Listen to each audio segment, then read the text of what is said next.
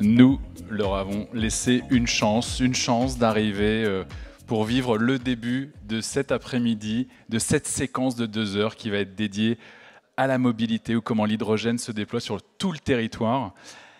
Les symboles sont importants, les couleurs un peu moins depuis ce matin, donc on va oublier les couleurs, mais les actes comptent, que ce soit dans les rues de Pau, vous avez un exemple devant le Palais Beaumont, un autre derrière, que ce soit un véhicule plutôt de sport ou un, ou un bus, et que ce soit aussi, euh, et c'était symbolique, mais ça a une, une portée mondiale, lors des 24 heures du Mans, avec la présentation du véhicule H24 et de sa grande sœur Green GT de 44 tonnes. Alors là, on ne parle pas de bus, on parle carrément de camion hydrogène qui était présenté en avant-première mondiale. C'est sûr qu'on va parler, on pourrait parler des, mobilités, des innovations euh, de rupture, mais pour atteindre l'objectif de neutralité carbone à 2050, il sera sans doute nécessaire de s'intéresser à toute la filière de la mobilité et de faire appel à de l'hydrogène pour décarboner aussi d'autres secteurs de l'économie en lien avec la mobilité. Vous allez le voir, lors de cette séquence de deux heures, la question de la poule et de l'œuf va se poser.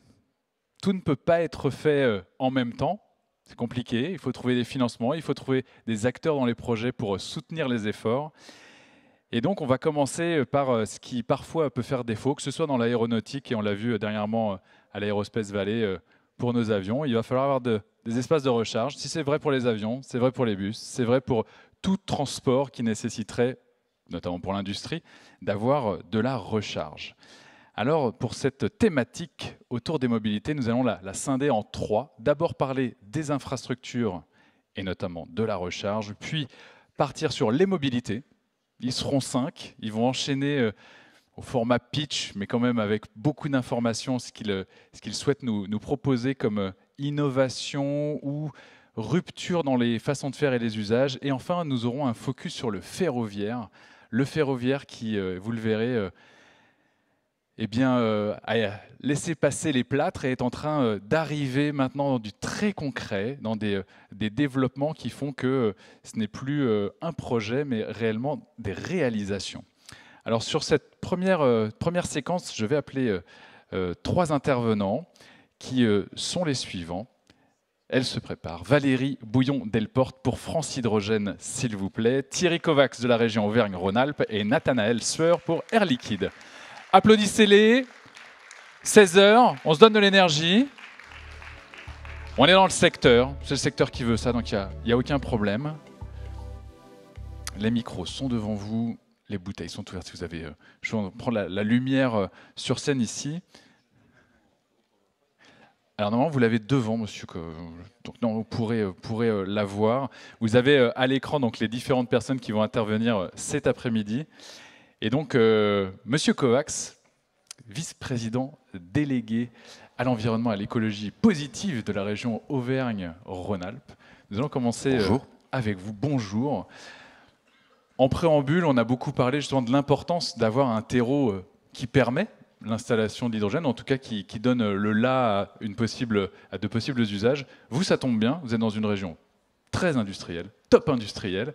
Donc, sous quel format, euh, et notamment le projet de Zero Emission Valley, prend forme et a pris forme ces derniers mois pour votre région, vu que c'est vous qui êtes finalement le, la personne la mieux placée pour en parler aujourd'hui alors, c'est pas tout à fait ces, les derniers mois, hein, c'est ces dernières années, puisque. C'est ça, on parle en années, là. Oui, la stratégie hydrogène a été voulue par le président Laurent Wauquiez depuis, euh, en fait, 2017. Partant du principe, si on peut euh, activer euh, les slides, pardon, j'appuie sur. Le vert. Le, là. Celui-ci. Très bien. Voilà.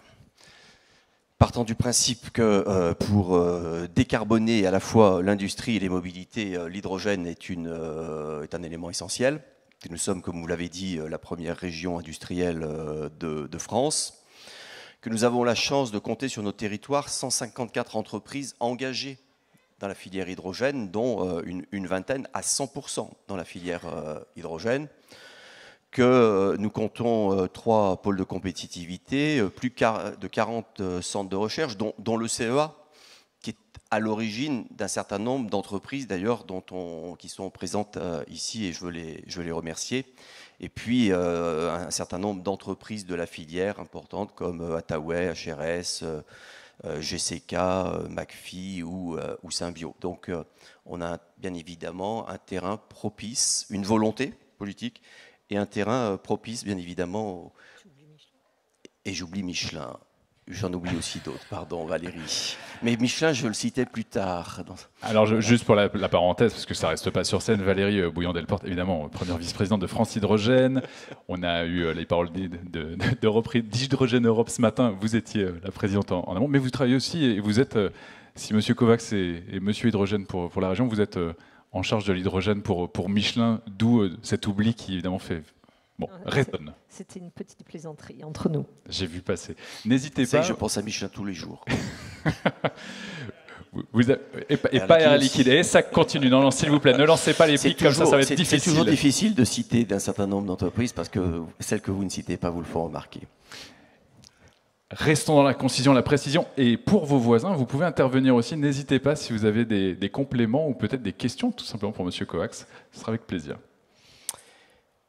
Donc on part d'une volonté, d'un terreau, une stratégie, une stratégie qui a été adoptée, euh, si, euh, pardon, une, stratégie qui a été euh, adoptée en juillet 2020 et qui tourne autour de, quatre axes, avec bien évidemment le, déploiement du, marché, l'usage mobilité avec zéro emission valley. On va, on va y venir justement pour parler mobilité, et puis également l'industrie.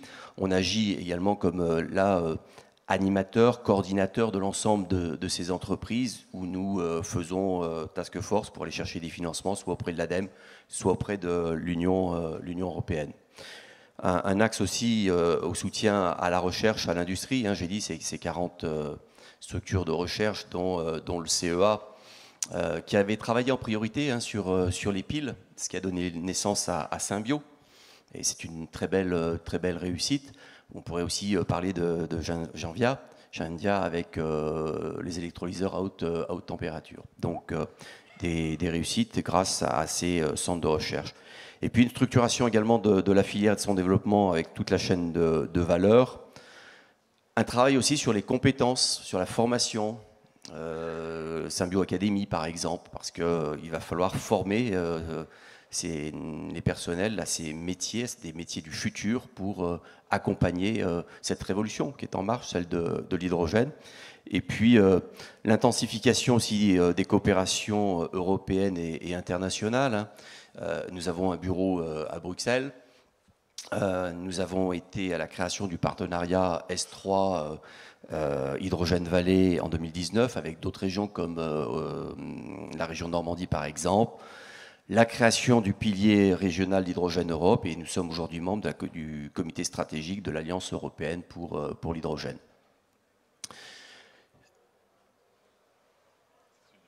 Ah, pardon. Voilà.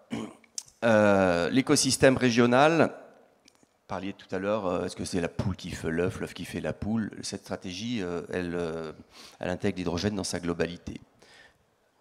Il faut produire, il faut pouvoir transporter, il faut pouvoir stocker, il faut pouvoir distribuer, il faut pouvoir développer les usages. C'est le schéma que vous avez euh, ici avec les différents euh, euh, intervenants au sein de... Mais je vais, faire, je vais accélérer du coup parce que je vois que visiblement je, dépasse, mais c'est cette chaîne que vous voyez là où, notre stratégie vraiment part de la production jusqu'à jusqu'à l'usage et on oublie, euh, nous n'oublions rien. Quand je dis que c'est propice, on avait un atelier tout à l'heure, hein, euh, l'entreprise Storingy euh, avec ce projet Hipster, on a trois des, trois des quatre cavités salines en région vernonale qui, va nous permettre, qui vont nous permettre de stocker de l'hydrogène en quantité et donc c'est aussi un atout pour, notre territoire. Décidément, voilà. Alors, le projet sur la mobilité, le projet euh, Zero Mission Valley, euh, c'est un projet que nous avons euh, présenté devant les instances Hein. C'était un projet lancé en 2018 qui a dû s'adapter parce qu'on a connu entre-temps quand même le Covid. On a des véhicules légers qui étaient produits qui ne sont plus produits. On a des véhicules utilitaires qui ont mis aussi un peu de temps à venir sur le marché. ce projet consiste en euh, le déploiement de près de, 20 stations de distribution d'hydrogène entre 350 et 700 bars, Je reviendrai euh, là-dessus dans le cadre du projet Impulsion, qui est vraiment une concrétisation, un des éléments essentiels de Zero Emission Valley. Euh, des euh, électrolyseurs également capables de produire de l'hydrogène renouvelable. L'autre atout aussi de notre région, c'est la présence de l'hydroélectricité, qui fait que nous avons une région qui, en termes d'énergie renouvelable, parce qu'on parle d'hydrogène vert, bien évidemment, ou d'hydrogène décarboné avec les centrales euh, nucléaires. Et nous avons aussi, bien évidemment, cette capacité de production de NR et euh, d'énergie euh, nucléaire. Zero Emission Valley, c'est aujourd'hui, hein, c'était à l'origine un peu plus de véhicules. On a adapté la voilure. Ce sont plus de 400 véhicules légers subventionnés. ce sont des véhicules utilitaires légers, 350, et des, des berlines pour notamment les taxis, puisque l'hydrogène est une solution pour euh, la, mobilité, euh, la mobilité également intensive. Et puis sur les véhicules euh, lourds, ce sont des cars de la région hein, que nous commandons. Ce sont aussi des cars qu'achètent les autres autorités organisatrices de mobilité, des intercommunalités par exemple, qui bénéficient de, subventions dans le cadre d'un projet, d'un projet. C'est une station de train région, puisque nous, Carole Delga en a parlé ce matin, nous sommes, faisons partie de ces quatre régions qui sont parties pour développer euh, le, train à hydrogène sur euh, deux lignes notamment, euh, Moulins, Clermont-Brioude et Lyon, Rouen, Clermont-Ferrand, avec une mise en, service attendue pour, pour 2026. Voilà. Et puis, pour être très complet, donc le projet ZEV, vous voyez, c'est quand même un budget initial de 50 millions d'euros et aujourd'hui donc de 86 euh, millions d'euros avec des subventions de l'Union européenne, de l'ADEME et puis 15 millions d'euros de fonds propres donc de, de la région. Et l'un des piliers donc de ce développement de Zero Mission Valley, c'est euh, cette société euh, qu'on appelle Impulsion. C'est un, cas un peu unique, hein, un partenariat public-privé entre la région Vernon-Alpes, qui est l'actionnaire majoritaire, 33%, avec deux grands industriels, Michelin et Engie. Deux banques. C'est maintenant qu'il faut intervenir, cher Valérie. La Banque des Territoires et euh, le Crédit Agricole. Ce sont, c'est, le déploiement d'une vingtaine de stations sur euh, la région Auvergne-Rhône-Alpes. Euh, mais là, on parle plus de, on parle plus de projet parce qu'en réalité, on a trois stations qui sont en fonctionnement. Vous les voyez sur sur la carte, mais moi, du coup, je suis un peu loin. Donc, c'est Chambéry, Moutier et Lyon-Saint-Priest qui fonctionnent aujourd'hui. C'est la livraison de, trois stations supplémentaires et vous voyez bien que c'est réparti sur l'ensemble du, territoire euh, d'Auvergne-Rhône-Alpes. Ce sont trois stations qui vont être euh, livrées d'ici fin 2023. Le, 5 juillet, euh, nous inaugurons avec le président Laurent Vauquier la station à Clermont-Ferrand, à Gravenche. Euh, celle de Lyon-Vénitieux est attendue pour septembre et celle de Grenoble-Saint-Égrève pour octobre ou novembre. Et nous avons six stations qui sont commandées actuellement, qui devraient être donc déployées dans, prochainement 2024-2025. Lyon-Saint-Exupéry, Annecy, Salès-sur-Sanne, Valence, Aubenas, Malataverne et des stations qui sont encore en, projet sur Cournon, Saint-Étienne, Albertville, Modane, Rérieux. Et donc là, on voit sur cette carte donc euh, un déploiement effectif. On n'est plus là dans, le projet, on n'est plus dans le futur, on est vraiment dans, dans ce qui est aujourd'hui euh, concret avec des véhicules qui vont être euh, livrés, qui pourront s'avitailler sur ces stations prochainement. Merci beaucoup. Une question pour vous, Valérie Bouillon-Delporte, rapidement, par rapport à ce qu'on entend sont là aujourd'hui et par rapport à des, retours que j'ai eus sur la pause déjeuner, on m'a dit mais c'est incroyable, d'année en année, il y a plus d'acteurs, il y a vraiment une effervescence de la filière. Là, on prend le temps encore de nommer les stations. Est-ce qu'on en est là? C'est-à-dire qu'au niveau français, est-ce qu'on en est encore à nommer les stations de recharge Et est-ce que c'est pour l'instant Il faut bien commencer, il faut bien, démarrer finalement la démarche. Mais est-ce qu'on pourrait quasiment toutes les nommer si on avait deux heures? Je ne vois pas où est le problème.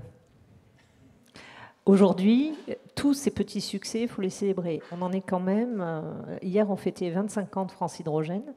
On a pris le temps de célébrer chacun des jalons de cette association. Et moi, je me rappelle en 2015, quand on a œuvré pour sortir une stratégie sur la mobilité nationale, on n'était pas nombreux. Donc oui, merci à chacun de vos efforts parce qu'on sait que c'est difficile de sortir des stations hydrogènes, on sait que c'est difficile de trouver le foncier, on sait que c'est difficile d'aller vers le commissioning, de boucler euh, les dossiers de financement, et que bah, tout cela, ça mérite de les nommer une par une. Et je suis désolée, on n'a pas deux heures pour le faire. Est-ce qu'on peut les applaudir, ces stations? Allez, tous ensemble, la filière. Petite précision, alors, deux heures, on, le ferait un peu plus rapidement. Deux heures, aujourd'hui, vous avez 58 stations pour les véhicules légers, les bus euh, et euh, une pour les poids lourds qui sont en opération. Vous en avez un peu moins d'une trentaine qui vont sortir d'ici la fin de l'année et euh, vous en avez de nombreuses autres qui sont déjà programmées. On a un certain nombre de plans de financement à l'échelle européenne, à l'échelle française, qui aident aussi au développement de ces stations. Thierry l'a fait justement remarquer le projet Zero Emission Valley, ce qui a permis de, mettre le pied à l'étrier, ça a été ce projet du CEF, Connecting Europe Facilities, qui a finalement mis tout le monde sous tension dans un délai de temps très court et qui a permis de sortir avant euh, toutes les élaborations de stratégie euh, un projet de station. L'Occitanie avait fait pareil euh, également. Donc c'est important aussi d'avoir cette visibilité et on parlera tout à l'heure du schéma que l'on a mis en place. Tout à fait. Alors, quand on parle d'exemplarité, quand, l'exemple est important, on peut évidemment donner la parole à votre, voisin Nathanaël Sueur. Vous êtes business développeur hydrogène énergie chez Air Liquide. Vous, bah pareil, ce rôle, en anglais on dit rôle modèle, c'est-à-dire qu'il faut, il faut avoir des exemples, il faut les mettre à l'honneur. Vous, c'est le projet RISE. Est-ce que vous pouvez nous, nous redonner les contours de ce projet euh, qui est souvent euh, donné comme exemple oui, bien sûr. Donc, euh, je vais changer un petit peu de région et passer un peu plus au sud. On descend un petit peu. Je vais vous partager quelques éléments sur l'avancée de nos projets. donc, merci.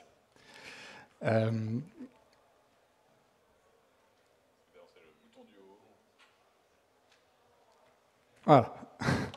Alors, euh, sur l'avancée de nos projets pour le développement de la mobilité poids lourd euh, hydrogène, donc en région euh, sud Provence-Alpes-Côte d'Azur, et en particulier de l'écosystème complet d'acteurs que l'on a fédéré pour mener à bien ce, projet. donc tout d'abord, je pense que la plupart d'entre vous connaissent déjà Air Liquide. Si, si ce n'est pas le cas, Air Liquide, on s'est lancé sur l'hydrogène depuis plus de 60 ans, avec notamment des, des premiers projets euh, sur le, spatial euh, et, la fourniture d'hydrogène pour, euh, les programmes Ariane. on a développé une expertise sur l'ensemble de la chaîne de valeur hydrogène, hein, depuis la production jusqu'au transport et la distribution.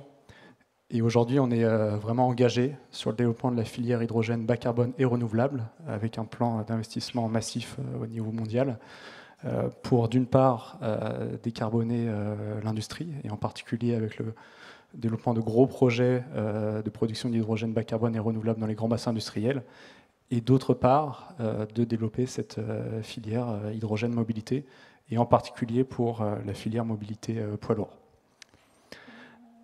Et donc hier, pour, pour exemple, j'étais avec des personnes d'Air Liquide, mais dans le Saint-Quantinois, avec Xavier Bertrand, et des gens qui nous ont parlé de constellations. Parce que dans l'espace, le CNES présentait des constellations qui permettent justement de donner accès et je crois que vous, c'est un peu la même idée.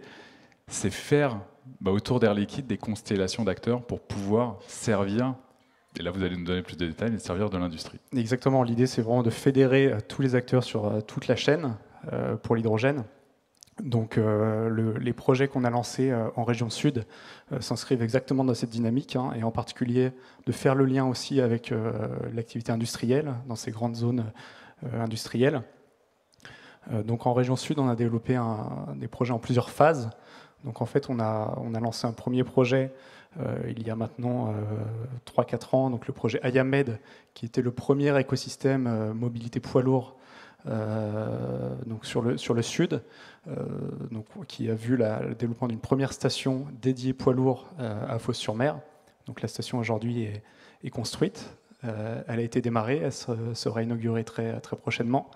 Euh, et les poids lourds, euh, les premiers poids lourds hydrogène seront déployés d'ici euh, la fin de l'année. Et donc dans la lignée de ce premier projet, on a développé un deuxième projet, donc le projet RISE qu'on a lancé en, 2021, qui vise vraiment à poursuivre le déploiement des, poids lourds hydrogène sur des flottes plus larges, passer de quelques, unités à plusieurs dizaines. On voit ici une, cinquantaine de, poids lourds. Et en parallèle de, ce déploiement, également poursuivre le maillage du territoire avec des stations hydrogène sur les principales, principales zones logistiques afin de, voilà, de, vraiment mailler, le territoire. Donc le projet RISE, c'est un vrai projet d'écosystème, donc on, y retrouve les acteurs sur toute la chaîne. vous les voyez sur, sur la planche derrière moi. Donc on a des industriels, et en particulier un industriel euh, Kemoine qui est un, partenaire historique d'Air Liquide sur le, sur le territoire de Fos-sur-Mer. Euh, cet acteur a un procédé industriel dans lequel de l'hydrogène fatal est coproduit par électrolyse. Euh, et donc Air Liquide, on vient valoriser cet hydrogène, le conditionner, le comprimer et le distribuer jusqu'aux utilisateurs finaux via le développement des, stations hydrogène. Et on a aussi chez Air Liquide la, particularité d'avoir euh, une entité dédiée sur la technologie des stations et en particulier euh, sur le développement des stations euh, pour des stations haute capacité pour les poids lourds. Sur les acteurs qu'on voit à l'écran, est-ce que là on est sur les acteurs, on va dire milieu de projet, fin de projet, après les, primo signants, ceux qu'on signe en premier, ou est-ce que vous aviez déjà quasiment la totalité de ces acteurs au moment de lancer le projet? Alors, c'est des projets qui se font euh, en plusieurs phases.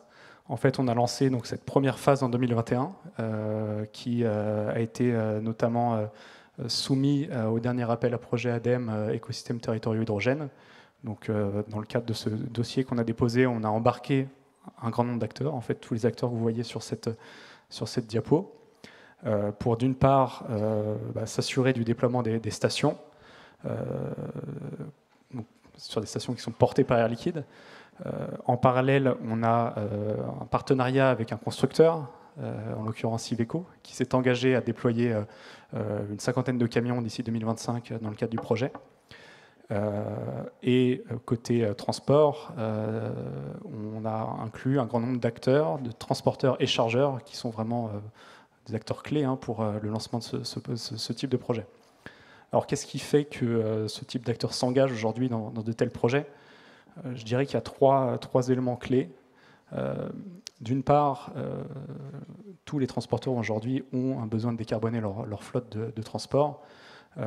et aujourd'hui, ils voient l'hydrogène comme une des solutions incontournables pour, la décarbonation de, leur flotte. et en particulier sur les applications plutôt longue distance. Donc ils ont, vraiment cette volonté d'accélérer et de se lancer sur cette nouvelles technologies euh, sur l'hydrogène.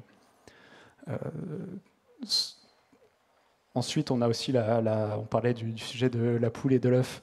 Donc ce partenariat effectivement qu'on a entre Air Liquide et Iveco pour s'assurer de la coordination des déploiements euh, entre les stations et les, véhicules est vraiment, vraiment capital aujourd'hui.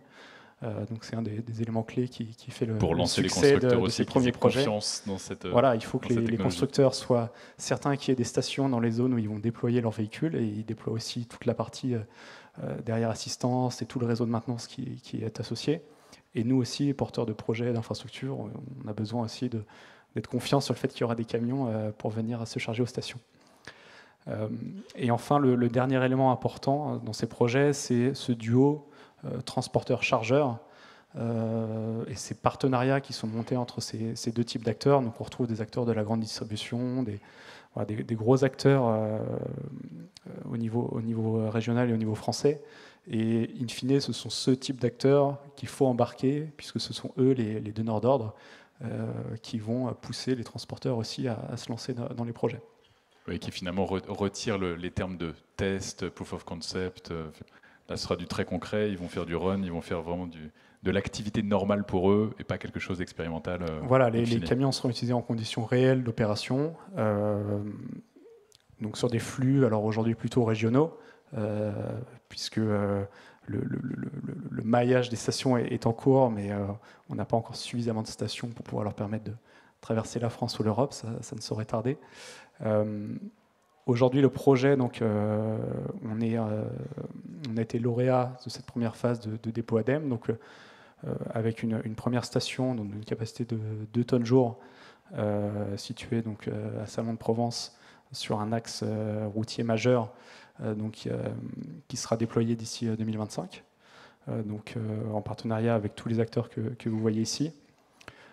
et on continue aujourd'hui à déployer cet écosystème euh, avec euh, plus de stations qui seront déployées dans les, dans les années à venir, et également à intégrer de nouveaux partenaires, transporteurs, chargeurs, qui souhaitent, qui souhaitent s'engager sur nos projets. Mais finalement, ça, va les attirer de, de, voir ces succès, ces réalisations. Et donc, traverser la France, traverser l'Europe. Valérie Bouillon-Delporte, première vice-présidente de, France Hydrogène, et je disais, donc, vous supervisez les sujets de mobilité chez France Hydrogène. Vous êtes aussi la directrice de l'écosystème hydrogène chez Michelin. Donc, ces questions, évidemment, elles vous euh, préoccupent, mais en tout cas, elles vous enthousiasment. Parce que moi, j'ai senti beaucoup d'enthousiasme dans vos paroles en préparant euh, cette séquence. Quel est le schéma directeur et quelle est la, vision portée et à réaliser de, France Hydrogène pour ses membres et pour les personnes qu'on retrouve aujourd'hui à Pau? Alors, on s'est rendu compte que sur la base des différentes initiatives, hein, on voit avec euh, Zero Emission Valley en Auvergne-Rhône-Alpes, on a vu ce matin avec Corridor H2 en Occitanie, là avec Air Liquide sur la région sud, on voit qu'il y a une multiplication des initiatives, que ce soit sur les véhicules utilitaires professionnels, les taxis et également les camions.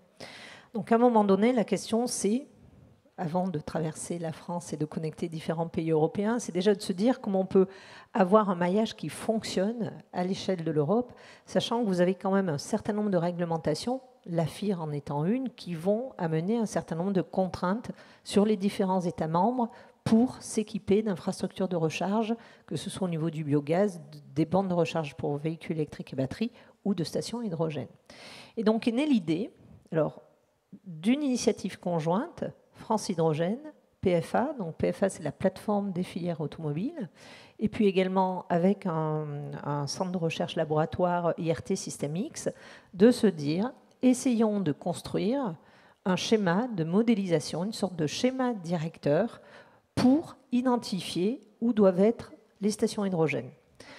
Donc on est parti sur un certain nombre d'hypothèses. Donc on a dissocié véhicules légers d'un côté, véhicules lourds de l'autre, toujours à destination plutôt jusqu'en 2026 euh, et même au-delà, viser les usages professionnels, mais avec un certain nombre de contraintes qui étaient de dire il faut que les stations aient un modèle économique, donc il faut déjà qu'on garantisse ou qu'on identifie un parc permettant 50% de taux d'usage des stations, donc ça élimine quand même un certain nombre de points sur la carte, et on va partir sur des objectifs de parc partagés avec donc euh, la plateforme, la PFA, 50 000, un parc véhicules circulant de 50 000 VUL et euh, véhicules légers à l'horizon 2026, fin 2026, début 2027, 341 000 à l'horizon 2030, et pour les camions, on est plutôt sur 12 euh, 000, un peu moins de 12 000 poids lourds à l'horizon 2030.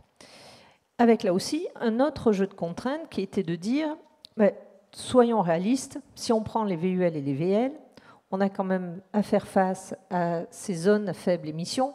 Donc on se doute bien que la demande, elle va particulièrement être forte dans ces zones-là.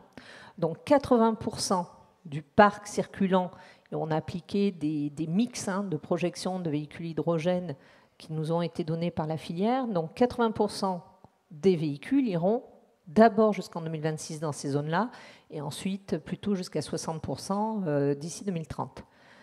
Sur ces véhicules, on a estimé que la mobilité hydrogène va d'abord être beaucoup plus demandée par le transport de marchandises, donc on est allé aussi sur les véhicules utilitaires légers de façon majoritaire. Et on a maillé le territoire sur une progression entre 2026 et 2030. Vous voyez euh, sur la carte 212 stations pour servir 50 000 véhicules en garantissant un off-take de 50% des stations on a des stations de 200 kg, 400 kg, 800 kg, on arrive jusqu'à 2 tonnes. Pour les poids lourds, on a une autre démarche. Là, on s'est basé bien évidemment sur un certain nombre de chiffres qui nous ont été donnés par la filière. on sait qu'un poids lourd, il traverse aussi la France. Donc, on a à peu près 40% euh, des poids lourds qui sont des véhicules en transit. On a également euh, identifié plutôt des tracteurs que des porteurs, 75% de tracteurs, 25% de porteurs. On s'est dit, on a peut-être euh, un peu mis la barre un peu haut que en deçà de 16 tonnes, la batterie faisait tout à fait le job, donc on s'est concentré plutôt sur le parc de véhicules supérieure à 16 tonnes. Et là, on a un maillage de 168 stations à l'horizon 2030 qui est en phase avec l'AFIR, sur un AFIR ambitieux, c'est-à-dire avec des stations espacées de 100 km. Je vous rappelle que l'AFIR aujourd'hui, on est plutôt sur un espacement entre deux stations exigé de 200 km. Et on a des stations qui, elles, commencent à 1 tonne 2 et vont jusqu'à 4 tonnes. Bon, on a évité aussi, on a forcé le modèle, on a essayé d'éviter de mettre des stations de 4 tonnes en plein centre-ville parce qu'on sait que euh, ça sera un petit peu euh, compliqué à mettre en œuvre. Donc ça, c'est la phase 1. Cette phase 1, elle donne un schéma de modélisation euh, qui, sur la base d'usage, donc on ne part pas de, de volonté de production d'hydrogène, sur la base d'usage d'un parc circulant, voilà idéalement où les stations doivent être situées avec un modèle économique qui percole. On est dans la phase 2. La phase 2, c'est ben, on va se confronter à la réalité. La réalité, c'est toutes les stations déjà déployées, tous les projets de stations déjà financés, toutes les régions qui ont elles-mêmes un peu des schémas directeurs de déploiement de ces stations pour faire correspondre le plan directeur, la réalité des projections. Et ça, alors on pensait le faire avant l'été, mais peut-être on a pris un petit peu de retard, mais probablement au plus tard à la rentrée, on aura un schéma complet qui prend ces, je dirais, contraintes à la fois euh, fonctionnelles et structurelles du modèle, qui les a confrontées à la réalité du terrain, avec un schéma directeur qui permet de dire aussi aux euh, différents ministères, l'AFIR vous impose un minimum de 68 stations à l'échelle nationale, donc autant vous dire qu'on va pas loin, euh, avec une partie à peu près 26 stations sur les grands axes euh, et euh, le reste sur ce qu'on appelle les nœuds urbains, c'est un minimum. Si vous voulez que ça fonctionne, si vous voulez avoir une industrie, si vous voulez pouvoir servir un parc de 50 000 véhicules à l'horizon fin 2026, début 2027, ben, il faudra à minima 212 stations avec un modèle économique qui marche. Et est-ce qu'au niveau de, des volontés, de la vision euh, de l'État ou des personnes qui financent, parce qu'on entend parfois que justement l'électrique, l'hydrogène, on ne pourra pas faire les deux, il faudra faire des choix? Est-ce que euh, au niveau, euh, j'ai envie de dire le mot lobby quand même, des, tensions positives que vous pouvez faire remonter aux personnes qui vont, porter ces projets? Et aussi, il y a autant de territoires à convaincre que finalement il faut faire ce maillage est-ce qu'on on part sur quelque chose où il y a effectivement un match entre les deux ou on peut faire les deux en même temps? En fait, il commence à y avoir consensus. Ce n'est pas toujours facile, mais on, y travaille. Le consensus, c'est que, qu'avec la batterie, pour les usages professionnels, on va dans le mur. Donc, un certain nombre des usages ne pourront pas être couverts par la batterie. Je parle là aussi des véhicules légers, il n'y a pas que les véhicules lourds, et qu'on aura besoin de l'hydrogène comme technologie pour atteindre les objectifs de décarbonation. La deuxième chose qui est vraiment pas intuitive, c'est que financer une double infrastructure de recharge, ça coûte moins cher. Vous allez me dire, mais comment est-ce possible? Est-ce que c'est deux coûts différents Mais non. Plusieurs études ont été faites, à la fois par Hydrogen Council au niveau mondial, par le Clean Hydrogen Partnership au niveau européen, qui démontrent que quand vous introduisez un mix de 10% de véhicules hydrogène, que vous faites les stations qui correspondent à ces véhicules hydrogène, au total, la facture pour les collectivités, pour les États, c'est 20% de moins en ayant des bornes de recharge batterie et des stations hydrogène. Là aussi, dernier point, si on parle coût, on oppose souvent le coût d'une borne de recharge électrique, d'un superchargeur à une station hydrogène. On ne compare pas la même chose. Il faut raisonner en coût au kilomètre délivré. Et même si vous avez un superchargeur, ben un superchargeur, si vous partez du principe qu'il peut recharger un véhicule toutes les 20 minutes, donc sur une journée, ça va faire à peu près 72 véhicules, à condition que vous ayez des clients entre minuit et 5 heures du matin. Ben, une station hydrogène, c'est un plein pour un véhicule léger en 5 minutes maximum.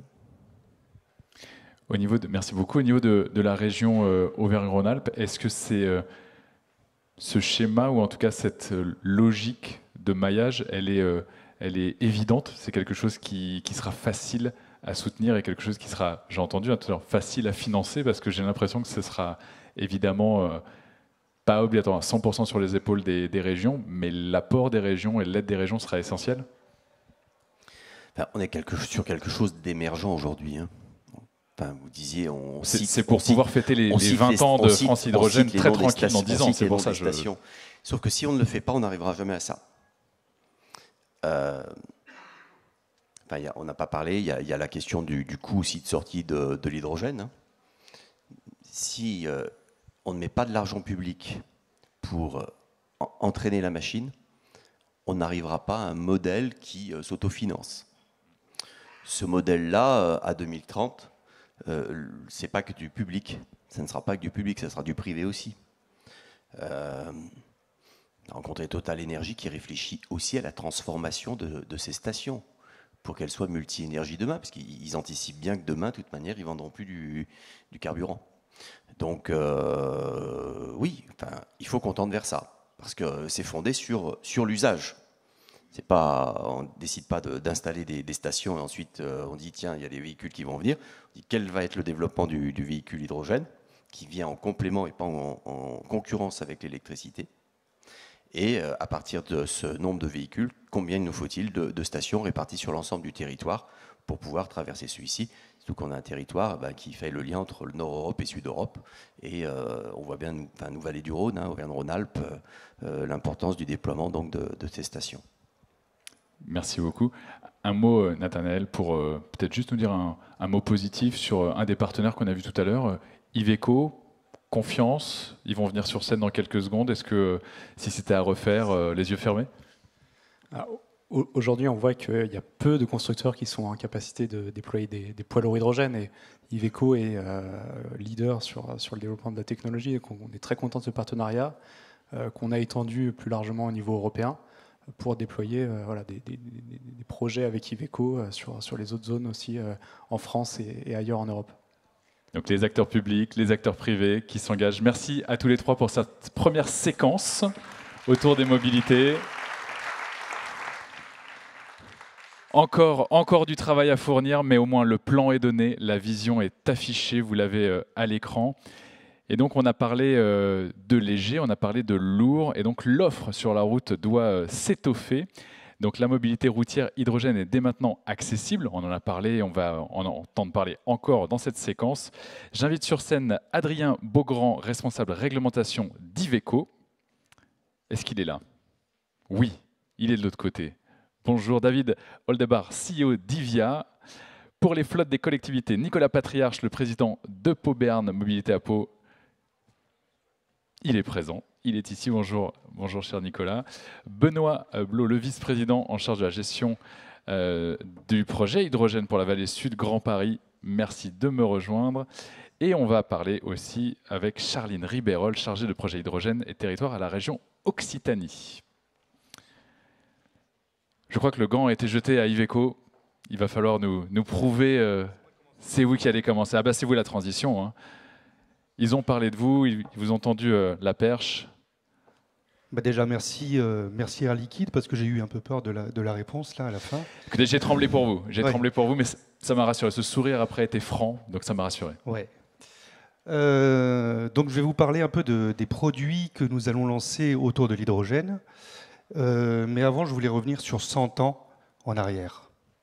Vous allez voir, il n'y a pas grand-chose en fait. en fait, entre 1930 et aujourd'hui, on est dans l'ère du diesel. Pour les véhicules lourds, que ce soit le transport de marchandises ou le transport de personnes, c'est exclusivement du diesel.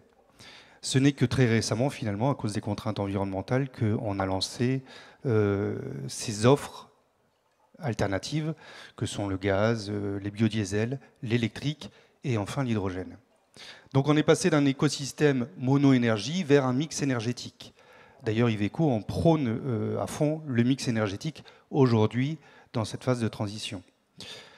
Euh, donc, il y a quand même des contreparties, c'est-à-dire que euh, le fait d'être aujourd'hui dans un système mono-énergie, ça nous permettait de développer avec un seul bureau d'études une seule technologie. Aujourd'hui, avec cinq technologies différentes, c'est cinq fois plus de mise à contribution du bureau d'études sans compter les autres aspects réglementaires qui viennent se rajouter dessus. Euh, il en est de même pour notre réseau de vente et euh, notre réseau de réparation. Là aussi, il faut faire une montée en compétence des gens qui travaillent, qui vendent nos véhicules et qui les réparent. C'est un souffle nouveau, souffle entrepreneurial à l'interne, un, intrapreneurial dans les, dans les murs d'Iveco. Il faut tout réinventer, il faut finalement euh, recréer des microstructures qui vont se développer. Exactement. Et la formation joue un rôle prépondérant aujourd'hui dans cette transition, en tout cas au sein de l'entreprise Iveco. Euh, bien entendu, au niveau des infrastructures, on l'a vu aujourd'hui, il va falloir avitailler tous ces véhicules hein, qui ont une, offre différente. Donc, euh, fini euh, la pompe à, gasoil, on va trouver donc des pompes à hydrogène, des pompes GNV, des pompes biodiesel, etc., etc. Donc, on va multiplier également les besoins en infrastructure. mais là où ça va être le plus compliqué, ça va être pour le client finalement. Parce que le client, lui, il a une pensée à moyen terme ou à long terme quand il fait un investissement. Et aujourd'hui, les décisions politiques, on voit qu'elles sont très court-termistes et une décision politique peut venir tout entraver dans un processus de décision. Donc euh, c'est eux que je plains le plus finalement, ce sont nos clients. Donc si je reviens à notre offre, euh, la dernière en date, c'est l'hydrogène. C'est ce qui nous intéresse tous aujourd'hui et je vais vous présenter quatre projets, en commençant par un prototype qui a été euh, dévoilé à Hanovre en fin d'année l'année dernière, au moment du lancement du, du e donc le Daily électrique. Le Daily, c'est notre gamme légère hein, qui évolue entre 3 tonnes 5 et 7 tonnes 2 selon les configurations. L'idée, c'était de faire un prototype roulant pour montrer qu'on était capable finalement d'adapter facilement de l'hydrogène sur une chaîne cinématique connue en électrique. Donc aujourd'hui, il n'y a pas du tout de date de commercialisation pour ce véhicule. Par contre, ce véhicule a été homologué à titre euh, individuel hein, et il est roulant. Il va venir en France d'ailleurs faire des démonstrations. Et s'il y a un réel intérêt pour euh, la technologie sur un VUL, euh, il est fort à parier que demain, il y aura des prises de commande pour ce type de véhicule.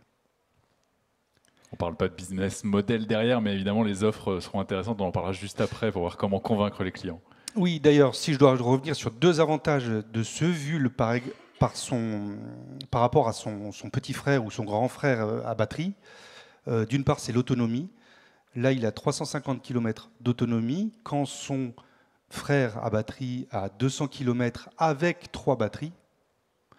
Euh, et les temps de rechargement, 15 minutes, là aussi un gros avantage pour le véhicule à hydrogène. Donc, pour certains usages, je pense qu'il a sa place. Deuxième euh, prototype, alors lui, il a une date de commercialisation prévue pour 2025. Euh, donc c'est un bus, puisque chez Iveco, nous, on a deux usines de fabrication en France. Hein. donc là, le bus hydrogène va être développé sur la base du bus électrique qui est produit donc dans une de nos usines.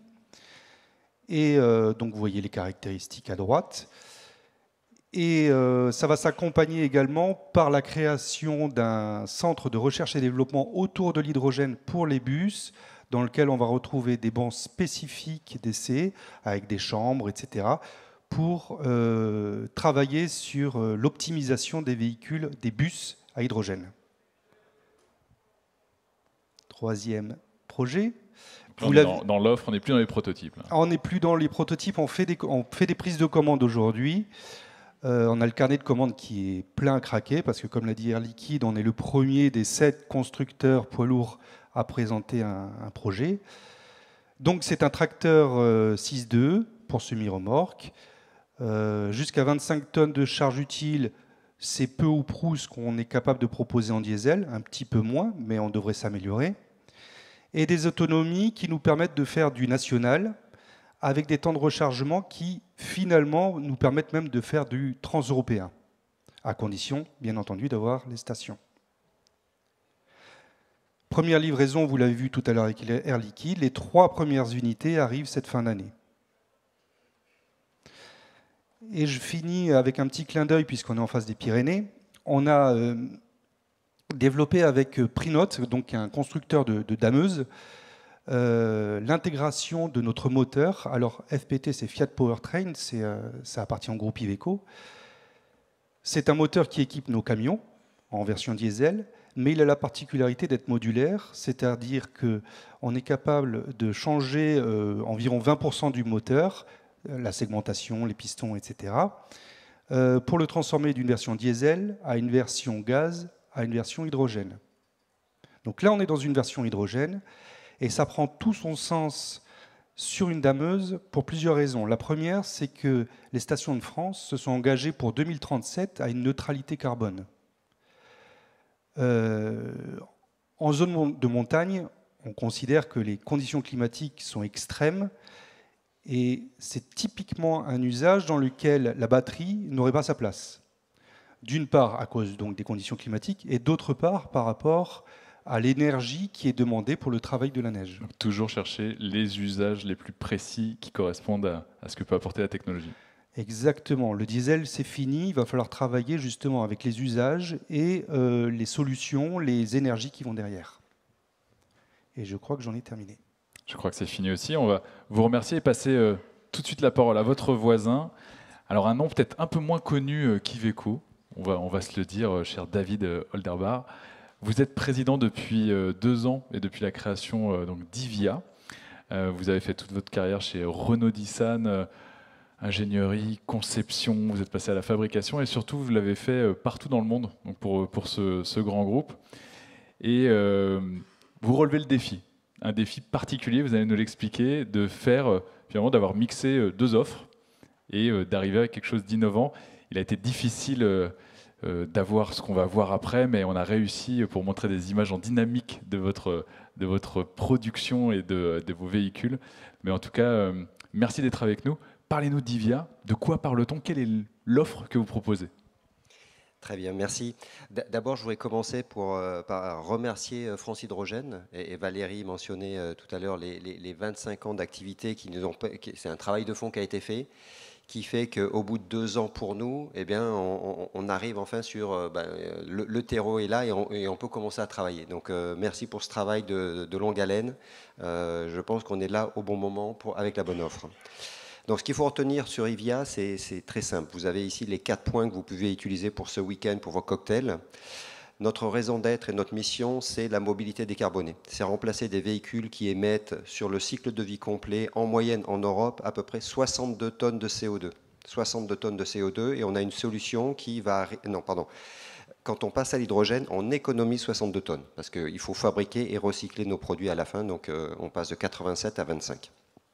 62 tonnes, c'est ce qu'on économise et c'est ce pourquoi nos 120 employés, on a été créé il y a deux ans, on est maintenant 120, donc c'est pour ça qu'encore une fois, moi je suis très enthousiaste d'être ici avec vous. Euh, hier, la semaine passée, nous avons célébré nos deux ans. Et en fait, euh, tous nos employés sont engagés pour offrir deux choses ce que tu, expliquais Thomas, à savoir la mobilité. Donc ce sont les, véhicules qui sont à l'écran. On a présenté à l'homologation et vous avez à l'extérieur euh, notre premier fourgon qui est homologué en Europe. Donc un fourgon 6 mètres cubes qui peut transporter jusqu'à une tonne de charge utile sur 400 km et vous pourrez recharger, comme tu le disais, en quelques minutes. Et l'autre partie de l'offre, c'est effectivement euh, le sujet de l'offre euh, et la poule dont on parlait euh, tout à l'heure avec Air Liquide. c'est à savoir, ben, Ivia est aussi capable, du fait de la réunion de ses actionnaires qui sont Renault d'un côté et Plug de l'autre, ben, tout l'écosystème hydrogène. La station, l'avitaillement d'hydrogène et l'électrolyseur. Et donc, en fonction de nos clients, qui sont exactement dans des usages intensifs. Hein, c'est vraiment notre, euh, notre leitmotiv. On ne veut pas remplacer des véhicules électriques pour qui euh, c'est satisfaisant, mais quand c'est intensif, c'est-à-dire au-delà de 200 km ou avec haute vitesse ou haute charge, l'hydrogène a toute sa place. Et enfin, le, quatrième point qu'il faut retenir sur Evia, c'est que nous sommes euh, made in France, puisque toutes nos activités sont en France et nous avons été les premiers à homologuer une voiture hydrogène en France. C'était un petit peu de sueur, mais nous y avons, nous avons réussi. Quelques images, euh, David? Un clic de plus? Voilà. Donc effectivement, vous allez avoir les images de... Euh, nous avons inauguré notre usine euh, au mois de mars passé, de 2022. Et très récemment, nous avons reçu notre électrolyseur, puisque nous avons une capacité d'assemblage de, 1000 piles à combustible par an. Et à la fin de chaque fabrication de, de piles, nous faisons un test complet de la pile. Donc nous avons besoin d'hydrogène. Jusqu'à présent, c'était Air Liquide qui nous approvisionnait. Mais maintenant, nous serons autonomes et nous pourrons euh, tester nos piles avec euh, l'hydrogène qui seront euh, fabriqués sur place. Alors j'ai entendu que c'était les deux ans la semaine dernière. La semaine dernière, où il y a un petit peu plus longtemps, tu terminais un Ironman. Donc trois épreuves. Quelles sont les épreuves à, venir ou à, passer pour pouvoir réussir finalement? Parce que là, on n'a pas parlé des coûts, on n'a pas parlé d'acceptation du marché. Est-ce que finalement les obstacles sont plutôt en ce moment Est-ce qu'il faut arriver à convaincre Quelle est l'offre qui arrive à convaincre les professionnels? Eh comme dans le triathlon, effectivement, il y a trois épreuves, je, pense, dans, ce que l'on fait. Euh, la première étape pour nous, ça a été de, de construire Rivia, c'est de réunir des gens qui connaissent la voiture, des gens qui connaissent la pile. Et, aujourd'hui, on est en train de développer un savoir-faire au travers de ça. On a des expatriés euh, qui, viennent de, chez Plug. Euh, on, est vraiment en train de développer une compétence euh, dans notre usine de flingue, dans notre bureau d'études. encore, je le dis encore une fois, on est 400, 120 personnes pardon, et qui sont vraiment engagées dans cette dynamique. Donc ça, pour moi, c'est le premier challenge que l'on avait. le deuxième, c'est réunir nos clients, euh, nos, partenaires autour de nos voitures. Et, ça, il y, a deux choses. On a beaucoup parlé de, des stations. Donc, quand il y a des stations, forcément, nous, on veut s'en rapprocher parce qu'elles sont déjà disponibles. Donc, aujourd'hui, dans la salle, on a des partenaires comme Equance, comme Orange, comme Chronopost, euh, qui font partie de nos pilotes et qui nous aident à développer et, utiliser ces premières vieilles voitures. Euh, et puis, c'est aussi ben, réunir, et, là, ce sont des régions. on parlait de Aura un peu, un peu plus tôt, d'Occitanie euh, où là, il y a des projets. Et, nous, en fait, on, développe avec le réseau Renault des affaires qui sont capables de faire l'après-vente de ces voitures. Je ne peux pas mettre dans la, rue des voitures si on ne sait pas les, entretenir et les réparer, euh, parce que ben, nos utilisateurs seraient extrêmement frustrés. Et enfin, le troisième point, euh, tout ça pour l'instant c'est à petite échelle, donc c'est cher alors que demain, on, sait et on y arrive, on voit une, visibilité qui est extrêmement encourageante. Moi, comme, tu le disais, ça fait 25 ans que je fais de l'automobile. Euh, la visibilité de réduction de coûts que l'on voit, euh, j'ai jamais vu ça. Euh, donc d'ici quelques mois, quelques années, on, sera en, mesure de réduire les coûts de manière drastique par rapport à aujourd'hui. Et ça, ça va permettre de passer à l'échelle. Ça, c'est le troisième challenge.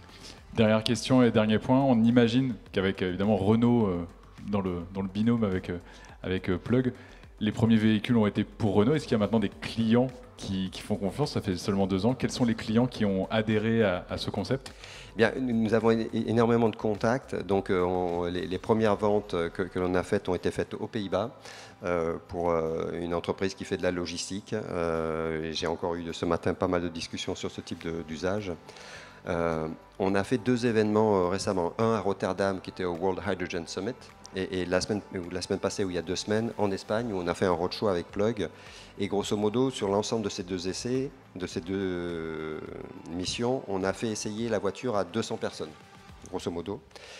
Et ce qui était intéressant, c'est qu'il y a toujours une certaine appréhension. Parce que ces gens-là, en général, n'ont jamais conduit de véhicule hydrogène. Donc il y a un petit peu cette. Euh, l'hydrogène, ça m'inquiète, mais je ne le dis pas. Et, quand ils ressortent de la voiture, ils ressortent avec un sourire, avec le message très simple de finalement ce n'est qu'une voiture électrique. Et donc quand ils nous disent ça, ben, on a réussi notre mission.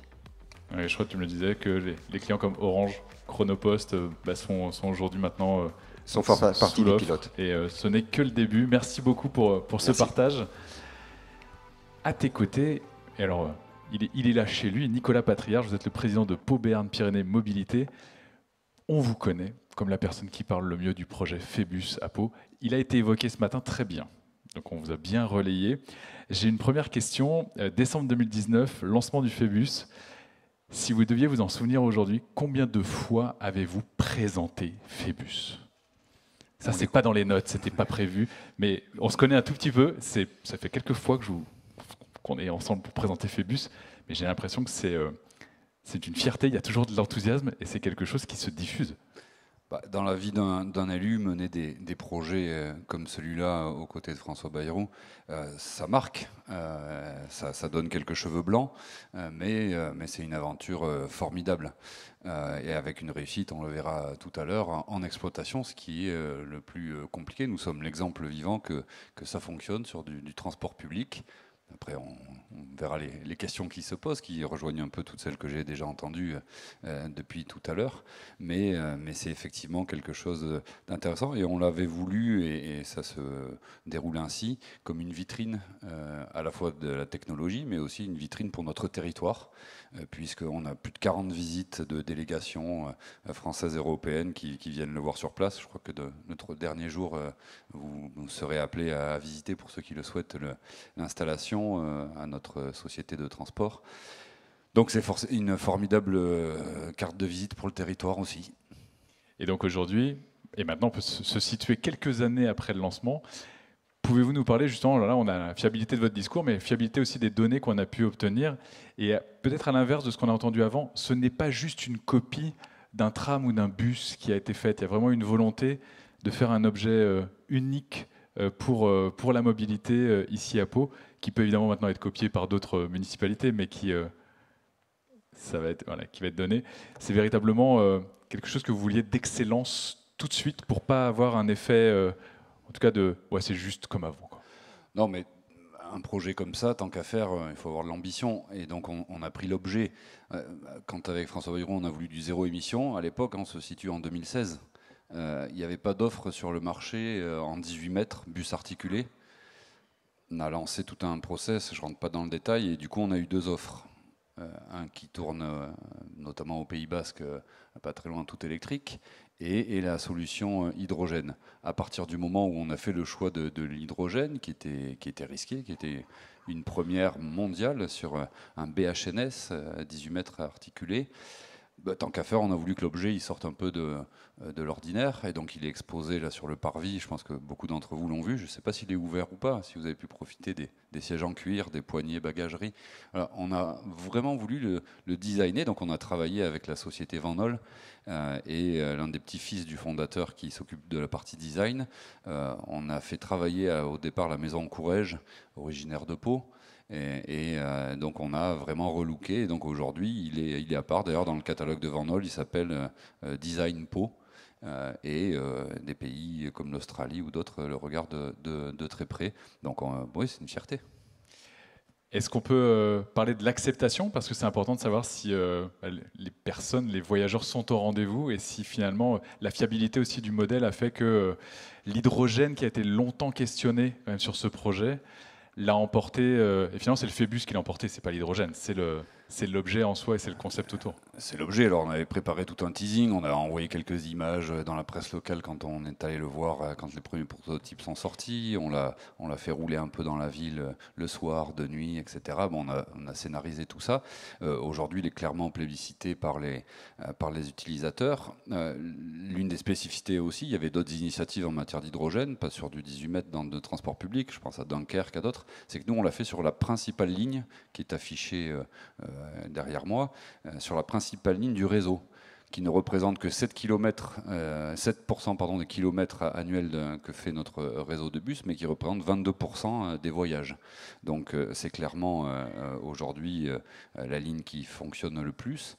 Euh, d'abord parce qu'elle dessert des zones un peu plus denses que d'autres, mais euh, c'est clair que le niveau de service qui est rendu à la fois par l'infrastructure et par, euh, l'objet, si on l'a voulu beau, c'est aussi pour montrer que le transport public, c'est pas le transport, parfois le transport public, ça n'a pas une image toujours très qualitative, où on se dit c'est, pas pour moi. Ou, là, ben, tout le monde a le droit au, beau, au, et donc il est effectivement, on a fait des enquêtes, il est, comme vous l'avez dit tout à l'heure, le ressenti c'est comme un véhicule électrique, donc pas de bruit, plus il est sur une plateforme dédiée sur la plupart de son tracé, donc euh, un tapis roulant, donc il est très agréable et, évidemment euh, les gens euh, l'apprécient beaucoup.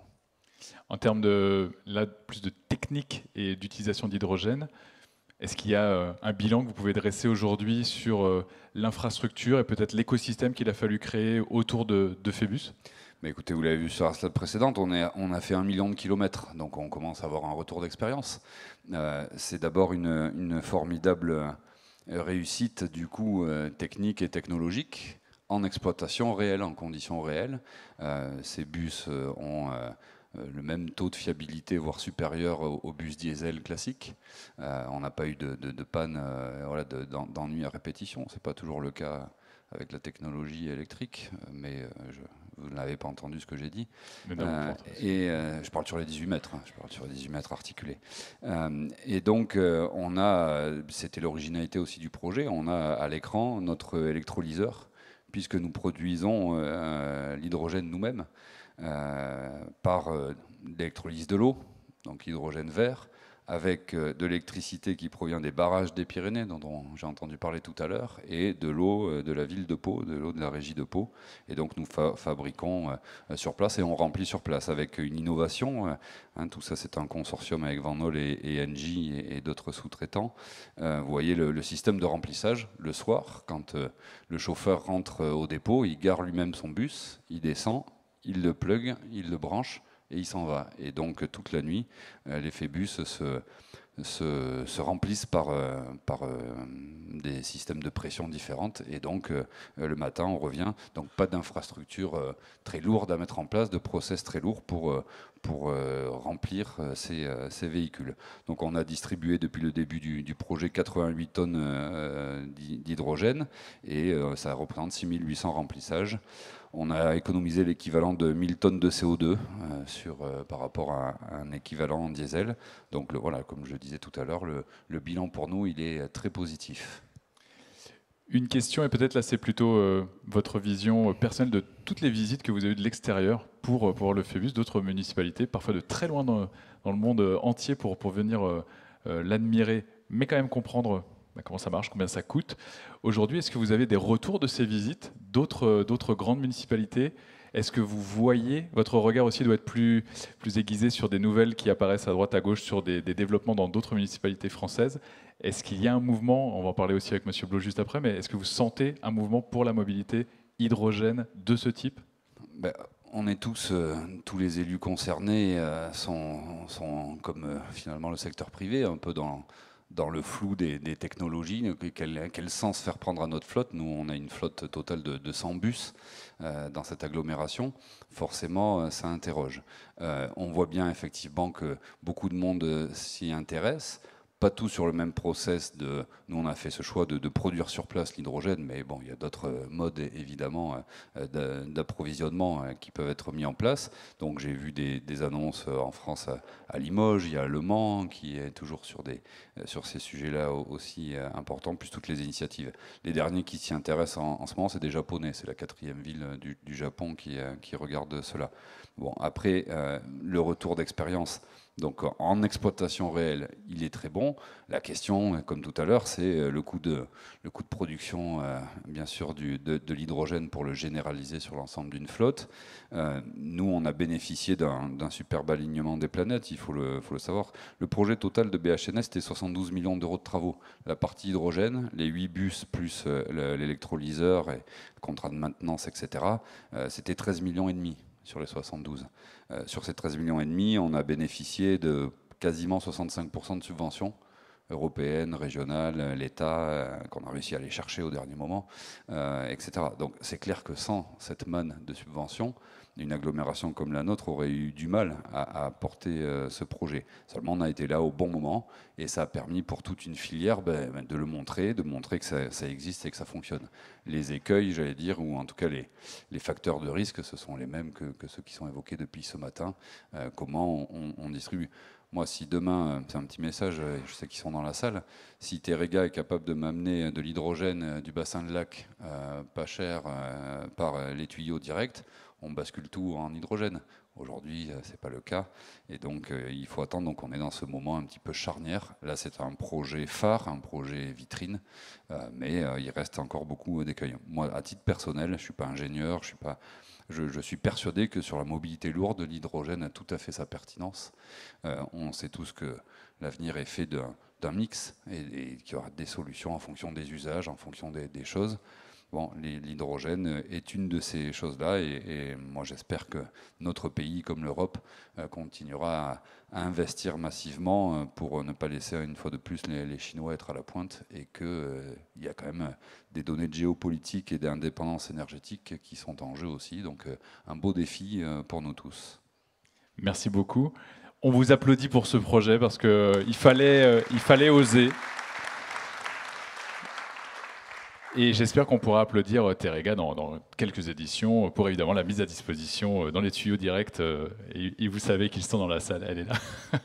ils vont le faire, vous inquiétez pas, ils vont le faire, ils aiment les challenges. Alors, votre voisin est ingénieur. Donc peut-être qu'il a une autre vision. Monsieur Benoît Blot, bonjour. Vous allez nous parler de ce qui se fait un peu plus dans le nord. Vous êtes responsable donc des projets liés à l'hydrogène, du projet hydrogène de la vallée sud Grand Paris. Et donc vous allez nous présenter l'écosystème que vous êtes en train de créer pour, cette, communauté d'agglo. Donc, quelques mots sur Val Sud de Grand Paris, parce qu'elle est sans doute moins connue que l'agglomération de mon voisin. Donc c'est une agglomération très, proche, très proche de Paris qui occupe tout le sud des Hauts-de-Seine. Il y a 11 villes et 400 000 habitants. Les particularités des agglomérations en région parisienne, c'est qu'il n'y a pas de ville-centre. C'est-à-dire que beaucoup de, fois, de nombreuses fois en province, il y a une ville-centre euh, qui un peu entraîne les autres. Là, nous, il y a 11 villes qui sont euh, avec des projets différents. Alors euh, ici, au loin, la frontière un peu, on voit, c'est les Pyrénées. Donc nous, la frontière nord de notre, de notre aglo, c'est les boulevards périphériques. La frontière sud, c'est la A86, c'est-à-dire le super périphérique. Et la frontière est, c'est l'autoroute A6 qui va à Lyon. Donc il y a une certaine sensibilité de notre population envers la, pollution et les, désagréments dus au transport. Donc et c'est pour ça qu'on on a décidé, de, avec notre président Jean-Didier Berger, de prendre les choses en main. Euh, on ne va pas le réexpliquer ici, mais nous aussi, on a compris que c'était surtout sur les véhicules les plus lourds que l'hydrogène pouvait avoir un intérêt le plus rapidement possible. Donc euh, notre politique, ça a été d'une part... Euh, de dire ben, on va montrer l'exemple. Donc euh, avant de, de, dire à tout le monde qu'il faut s'équiper, on va, sur nos délégations, sur nos compétences, s'équiper en véhicule hydrogène. Donc la première compétence euh, la plus importante, c'est la compétence de gestion des, des, ordures ménagères. Donc on veut complètement euh, équiper le parc de Ben, on en a 26, de, de véhicules à hydrogène. Pourquoi? Parce qu'en en fait c'est sans doute l'un des véhicules qui pollue le plus et qui utilise le plus d'énergie dans une agglomération. Il s'arrête, il repart tous les 30 mètres. Donc on sait qu'un moteur, c'est au moment du démarrage qui pollue énormément. Et en plus, cerise sur le gâteau, il y a un compresseur à l'intérieur qui comprime en, permanence les ordures chargées. Donc vous avez un taux d'utilisation.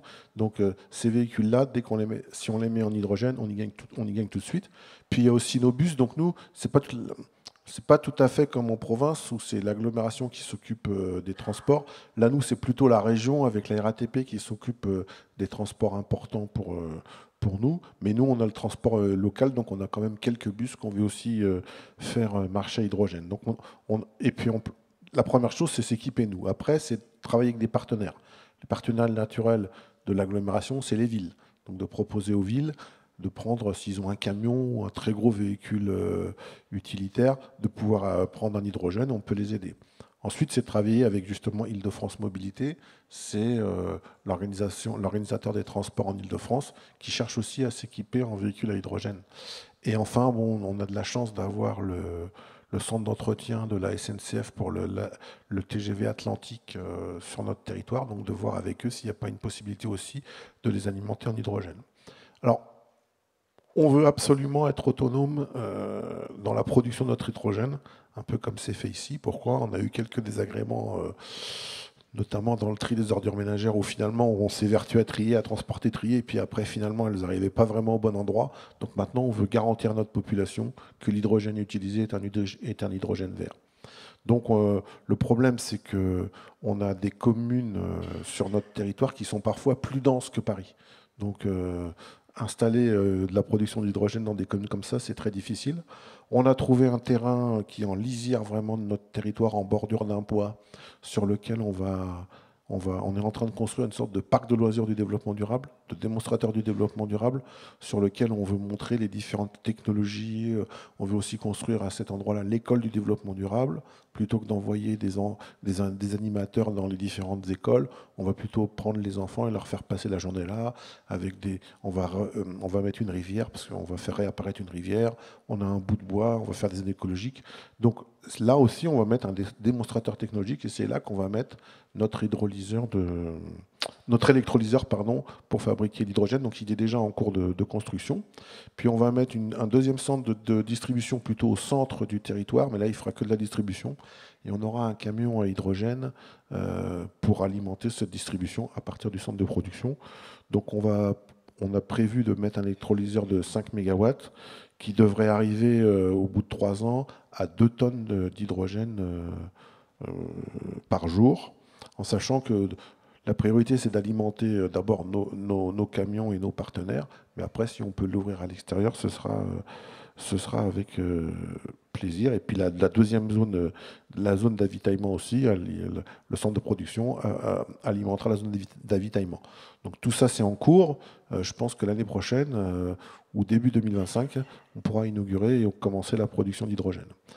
Accompagné à ça, donc on a, aussi, on veut, comme je vous l'ai dit, avoir des véhicules à nous. Euh, et là, on a plutôt eu quelques désagréments. Euh, au 1er janvier 2024, euh, notre contrat pour la gestion des ordures ménagères de l'ensemble de l'agglomération était à renouveler. Donc on voulait, on a lancé un appel d'offres pour avoir 26 bennes à hydrogène entre 2024 et peut-être début 2025 mais euh, personne n'a répondu. Donc euh, on s'est un peu renseigné. Alors je ne sais pas si on a été naïf ou trop ambitieux, mais euh, ce n'était pas possible. donc on va s'équiper petit à petit, au fur et à mesure où les industriels pourront nous fournir. On va s'équiper, en banne à hydrogène, peut-être une en 2024, trois en 2025. On ne sait pas encore, mais là, on, là, on attend les industriels. Nous, on est prêt à les recevoir, mais bien sûr, on veut des. Si vous voulez, on n'est pas un centre de recherche. On veut des véhicules qui marchent aussi bien. actuellement, on a 26 bennes à gaz. On veut des véhicules qui fonctionnent aussi bien parce qu'on a un service à assurer. C'est quand même ça le principal. Et puis, on va aussi acheter euh, quelques bus dans le territoire. Le deuxième désagrément, c'est au niveau des subventions, parce que notamment pour la collecte des ordures ménagères, habituellement, on, fait, un contrat avec des sociétés et ces sociétés, elles achètent elles-mêmes les bennes et elles fournissent tout le service. Comme ça, s'il y a un problème, qu'une benne est en panne ou quoi que ce soit, nous, on ne veut pas le savoir, on a un contrat, ça doit marcher et c'est très confortable pour nous. Malheureusement, pour obtenir des subventions, et euh, c'est très très important, hein, nous, on n'a pas, on pas une agglomération assez grande pour, pouvoir euh, faire ces projets-là sans subvention, il faut que ce soit nous qui achetions ces bennes à hydrogène. En réalité, on les met à disposition du collecteur. Donc là, ça va être un bon jeu de ping-pong si la benne ne marche pas très bien ou le jour où il y a un problème. Donc il faut aussi qu'on se garantisse avec des contrats de maintenance. Alors autant vous dire que obtenir les bennes, c'est déjà compliqué, mais alors des gens qui nous garantissent la maintenance euh, avec des, niveaux de maintenance euh, au bout de deux jours ou un jour, là, ça commence à être un petit peu mission impossible. Donc pour l'instant, on a un petit peu l'impression quand même, alors je suis désolé, hein, je sais que tout le monde est très positif aujourd'hui, mais nous, on a un petit peu l'impression qu'on est un peu trop en avance et que les industriels ne sont pas tout à fait en capacité de nous fournir les moyens, euh, vous voyez, mais des moyens euh, qui tournent tous les jours euh, sans être obligés de mettre les mains dans le capot tous les matins. Voilà. Alors je rassure juste Iveco, parce que par contre, on a des, petites camionnettes à gaz, elles fonctionnent super bien, on en est super content. Et merci beaucoup parce que sur le coup, là, c'est les constructeurs français qui nous ont lâchés. Au début, ils, faisaient du GNV, puis à un moment donné, plus personne n'en a fait. Heureusement qu'on a trouvé les IECO pour nous, faire notre GNV. Voilà où on en est aujourd'hui. Donc on espère que le 1er janvier, en 2024, on aura nos, nos premiers bennes à hydrogène et nos, et nos premiers bus. Mais on est plutôt en attente des industriels. Nous, de notre côté, on est prêts. Merci beaucoup. J'imagine, je le vois euh, peut-être déjà envoyer des messages, Nicolas Patriarche, que pour Gridinov, peut-être à Heliopark, c'est le genre de projet qu'il ne faut pas laisser passer. Quand on voit une demande comme ça, il y a un marché, il y a sans doute des startups, il y a sans doute des chercheurs, il y a sans doute des entreprises qui sont prêtes à le faire. Mais on en a parlé aujourd'hui aussi, l'hydrogène tout seul, c'est compliqué. Avoir le, besoin et ne pas avoir l'écosystème ou ne, pas avoir sondé euh, finalement les acteurs, c'est compliqué. Je vais vous donner la parole, Charline euh, Ribérol, pour la région euh, Occitanie. Vous êtes chargée de projet hydrogène et territoire à la direction de la transition écologique et énergétique. Alors vos mots, ils vont faire écho à ce qu'on vient d'entendre, hein. c'est-à-dire que s'il n'y a pas de cohérence entre l'offre et la demande, s'il n'y a pas de cohérence entre les acteurs euh, du territoire, c'est compliqué.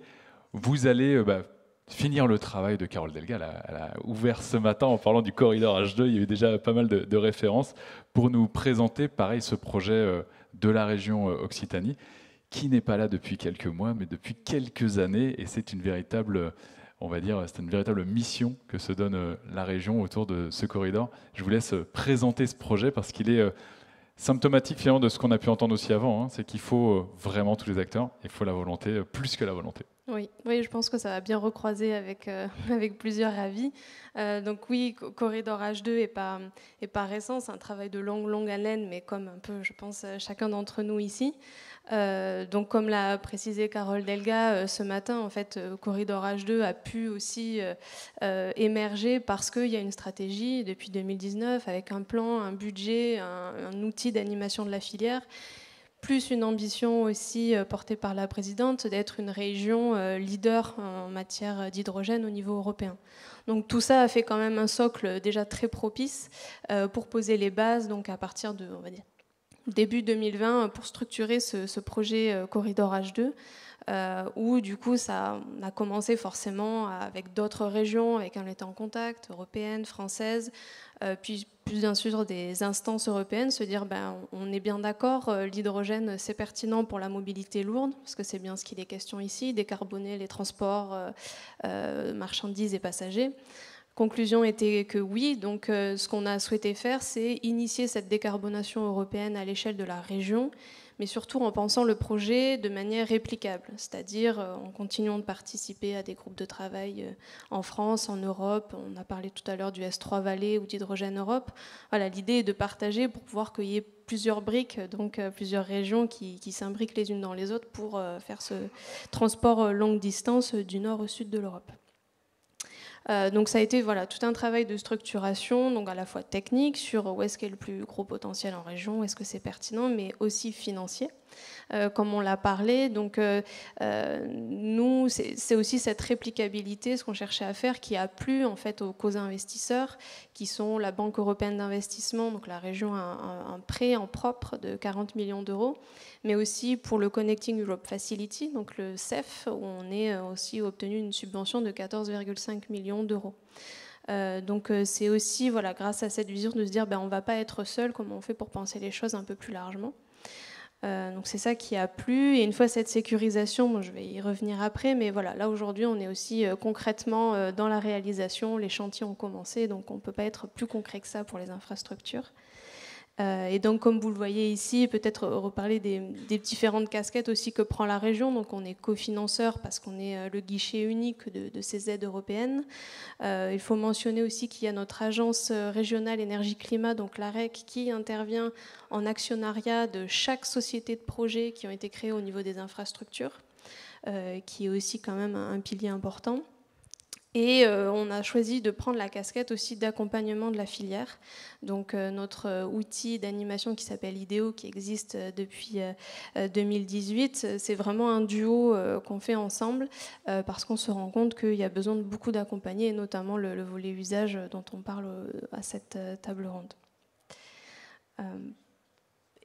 Voilà, concrètement, qu'est-ce que c'est? J'en parle depuis tout à l'heure. Donc, le projet Corridor H2, euh, donc je vous laisserai euh, prendre connaissance des localisations et des chiffres exacts. La slide est faite pour ça, mais euh, voilà, préciser que c'est un projet donc de, la production, distribution aux usages, qu'il y a donc deux sites de production massive en hydrogène vert renouvelable.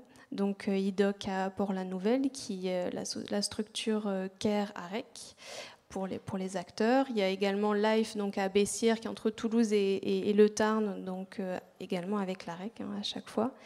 Euh, pour les stations de distribution, on va aller jusqu'à 1,2 tonnes, en tout cas dans un premier temps, de distribution d'hydrogène par jour. Euh, donc là, ça va être la, 5 stations avec DOC, qui est aussi Caire et la REC. Et puis il y a aussi d'autres deux stations dans le Tarn, avec Ivy Tarn, qui, sont, qui rassemblent Seven et la REC voilà, ça c'est les, partenaires euh, pour la partie euh, infrastructure.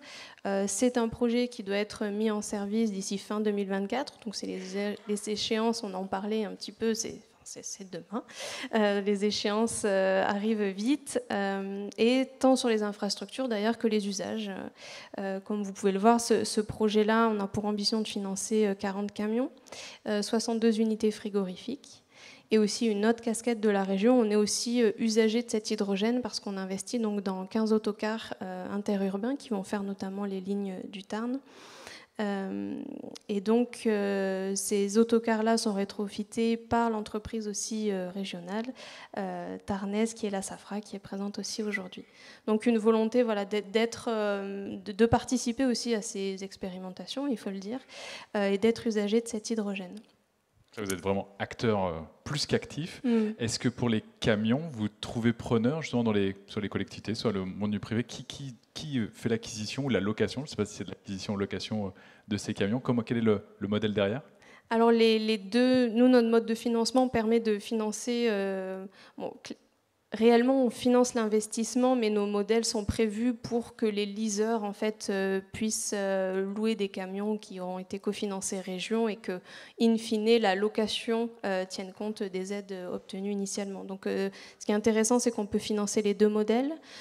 c'est dans un premier temps surtout des transporteurs régionaux parce que le maillage encore autour d'Occitanie est pas, ça arrive, mais pas suffisamment dense pour permettre tout de suite beaucoup de flexibilité.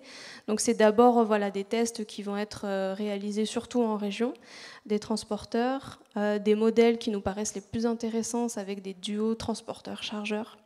Euh, on voit que c'est important que les donneurs d'ordre aussi bah, se, mouillent quelque part et aient envie de montrer aussi une expérimentation et de peut-être, enfin c'est déjà le cas, on, a des témoignages de ça, de, de répartition du surcoût en fait entre transporteurs et chargeurs.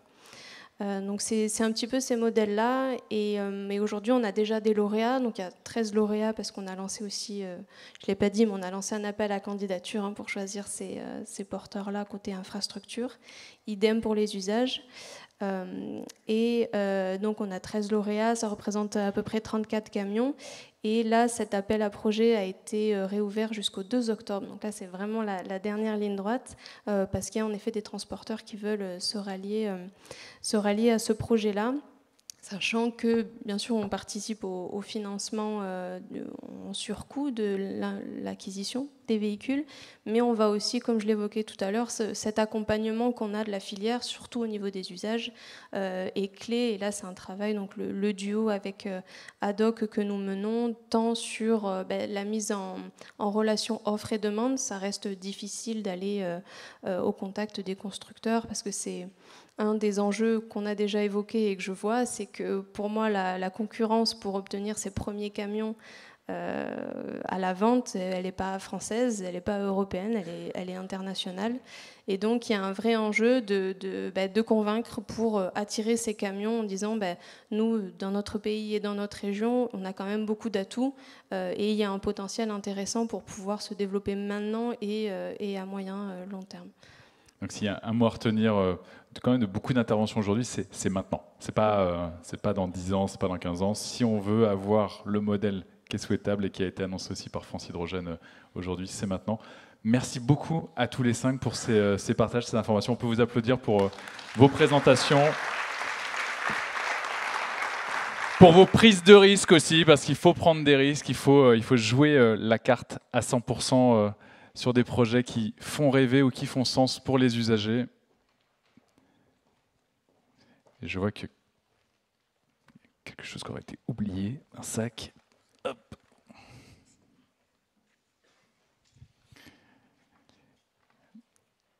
Alors, dernière séquence, mais alors pas des moindres. Là, on va avoir les, les passionnés. Les échanges pour préparer euh, cette séquence ont été, ont été fournis parce que euh, il y a les, amateurs et les professionnels. Et alors, les professionnels, ils aiment le ferroviaire. Alors, si vous êtes du ferroviaire depuis longtemps, vous aimez en parler, vous aimez partager cette passion, je vais euh, appeler maintenant sur scène euh, pour Alstom Yannick Leguet, le directeur technico-commercial, Anan Alamraoui, la directrice industrielle de EDF Énergie, de HDF pardon, Énergie, et Philippe Tardivon, le directeur de projet TER H2 à la SNCF. Bonjour à tous les trois. Il arrive cher Philippe, avec nous. Merci beaucoup. Alors juste une anecdote, j'aurais adoré partager avec Anan avant cette table ronde elle était toujours occupée sur son stand. Il y avait toujours quelqu'un pour lui parler. Donc je pense que ce que vous allez nous présenter fait un écho chez les personnes, chez les membres soit de, France Hydrogène, soit les personnes qui sont venues vous voir parce qu'à chaque fois vous étiez euh, en discussion. Donc c'est complètement euh, fou. Donc quand on parle de, décarbonation et de ferroviaire, Bon, c'est un peu le maître mot, on pense train, on va penser TGV, mais donc avec vous, on va pas partir dans peut-être l'image que peut avoir le, grand public de ce qui pourrait être fait sur la décarbonation et l'angle hydrogène. avec vous, cher Yannick, donc vous êtes directeur technico-commercial pour Alstom. Vous allez bah, nous dire quel a été ce chemin, parce que si on fait un retour en arrière pour arriver jusqu'à aujourd'hui, il s'en est passé des choses. Vous, euh, finalement, l'hydrogène, ce n'est pas, euh, pas que le TGV.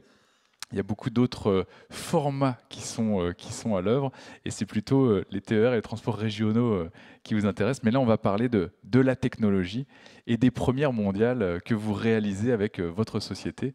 On vous laisse la parole.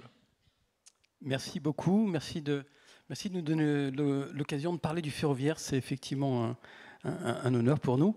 Euh, alors, je vais peut-être prendre la, zapette. C'est toi qui dois l'avoir, Philippe. Merci. Et effectivement, je vais, essayer de vous, présenter euh, ce qu'a été euh, un petit peu le chemin euh, pour arriver aujourd'hui à une situation où on vend des trains hydrogène. Hein. ce n'est plus des, comme vous le disiez tout à l'heure, ce ne sont plus des, des, prospects, ce sont des ventes. Et, tout d'abord, le, le, transport ferroviaire, pour commencer, c'est un des transports, enfin, c'est le transport le plus écologique qui soit, puisqu'il est à la fois un transport collectif, à opposer au transport individuel, bien évidemment et c'est un, transport qui est majoritairement électrifié. Alors 80% des, des, voyages aujourd'hui se font dans des trains électriques. Donc euh, voilà, c'est super. Donc euh, pourquoi faire des trains hydrogène? Puisque effectivement, un train électrique, vous prenez l'électricité directement sur une caténaire, vous le mettez sur un transport collectif et voilà, c'est merveilleux. Mais aujourd'hui, 40% des lignes ne sont pas électrifiées. Alors pourquoi est-ce qu'on n'électrifie pas tout? Parce que bah, ça coûte cher. Ça coûte cher d'électrifier une ligne et quand vous avez une distance assez importante entre deux villes, une ville A et une ville B, et que vous avez très peu de trains à y circuler, bah, voilà, jusqu'à présent, on y faisait tourner des trains euh, diesel. Il n'y avait pas beaucoup d'alternatives parce que électrifier une ligne, ça coûte entre 1 et 3 millions d'euros du kilomètre. Et euh, voilà, il y a des usages où, quand vous avez 4, 5, 10 trains par jour, ce n'est pas forcément euh, rentable ou pas forcément économiquement viable d'aller électrifier une ligne. Donc aujourd'hui, la seule réponse qui a été apportée par les autorités organisatrices de, la mobilité et par la SNCF, c'était de, de, pouvoir proposer des trains diesel qui n'ont pas besoin de caténaire. Et bien évidemment, bah, tous les acteurs que je viens de citer sont venus nous voir, nous constructeurs, pour nous dire bah, qu'est-ce qu'on peut faire pour euh, décarboner cette, euh, et puis bah, se passer du diesel. Et donc on a travaillé sur euh, deux axes que sont le train batterie d'un côté, mais également le train hydrogène. Et le train hydrogène est né chez Alstom il y a très longtemps, il y a, environ dix ans, au travers d'un concours à l'innovation qui s'appelle I chez Alstom. Et c'est un concours où chaque salarié peut émettre un dossier et il y a bah, une sélection qui est faite au niveau local, au niveau national, au niveau, au niveau d'entreprise. Et en 2012, le, dossier qui a remporté euh, la, compétition, c'était un salarié d'une usine allemande qui avait déposé un dossier pour dire bah, plutôt que de faire des trains diesel, peut-on faire des trains hydrogène? Les gens ont trouvé ça très intéressant et on dit bon, bah, ok, on te donne un peu de R&D, tu pousses un peu le dossier. Et quelques années plus tard, on, sortait, on faisait un, accord avec euh, le Land de Basse-Saxe, on faisait un accord avec euh, le groupe Linde et, et l'État fédéral allemand. Et euh, le premier train hydrogène est né en Allemagne, il s'appelle le Hilint.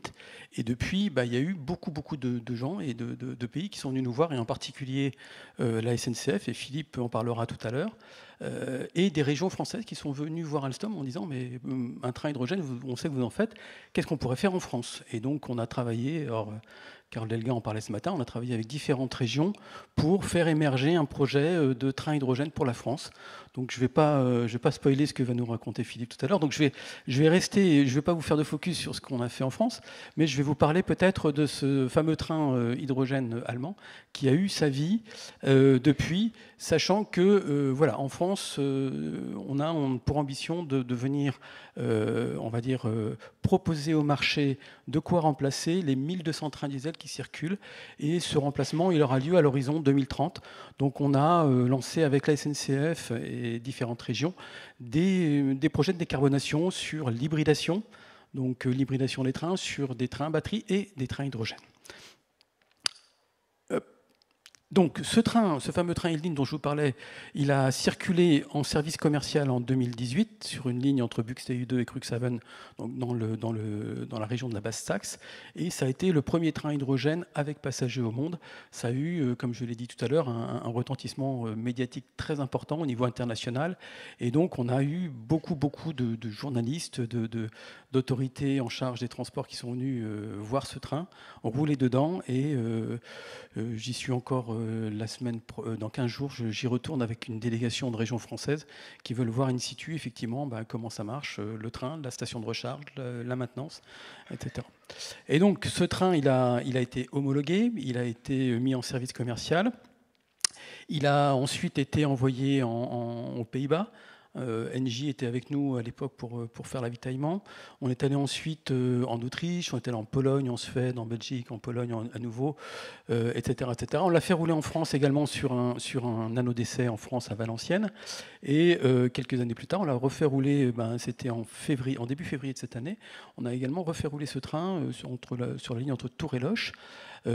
après un processus d'autorisation de, de, en essai, ce qui était quelque chose qui, est extrêmement important, c'était la, vérification auprès des autorités certificatrices, auprès de SNCF Réseau, avec le support des, experts SNCF également, bah, qu'un train hydrogène peut circuler sur une petite ligne en électrifié en France. Donc c'était extrêmement porteur d'enseignement euh, et, un, très beau succès également. Et donc les, fameux trains e ont été livrés euh, euh, à partir de décembre 2022, oui c'est ça, et euh, sont en circulation, 41 de ces trains sont en circulation aujourd'hui, euh, enfin le seront, euh, le seront à peu près à l'été, ils seront tous livrés à l'été, de manière quotidienne en Allemagne, donc dans le land de Basse-Saxe d'une part, donc dans la région de Hambourg, et dans, à côté de Francfort, dans le land de SE. Et le, les deux prototypes qui avaient fait l'objet des, des, roulages en service commercial sont toujours en train de faire un peu le tour du monde. L'un d'eux est parti au Canada et va réaliser des, des, pareil, des, des runs d'essai euh, cet été et on en est très très fiers. Et ce dont on est extrêmement fiers également, c'est que toute cette technologie en fait est euh, la technologie de la chaîne de traction hydrogène est développée à Tarbes, donc euh, tout près d'ici. Donc nous sommes extrêmement fiers d'être d'être ici aujourd'hui, puisque le centre qu'on appelle chez nous Green Traction, il est à Tarbes et on y développe les chaînes de traction décarbonées à partir de de, batteries et d'hydrogène.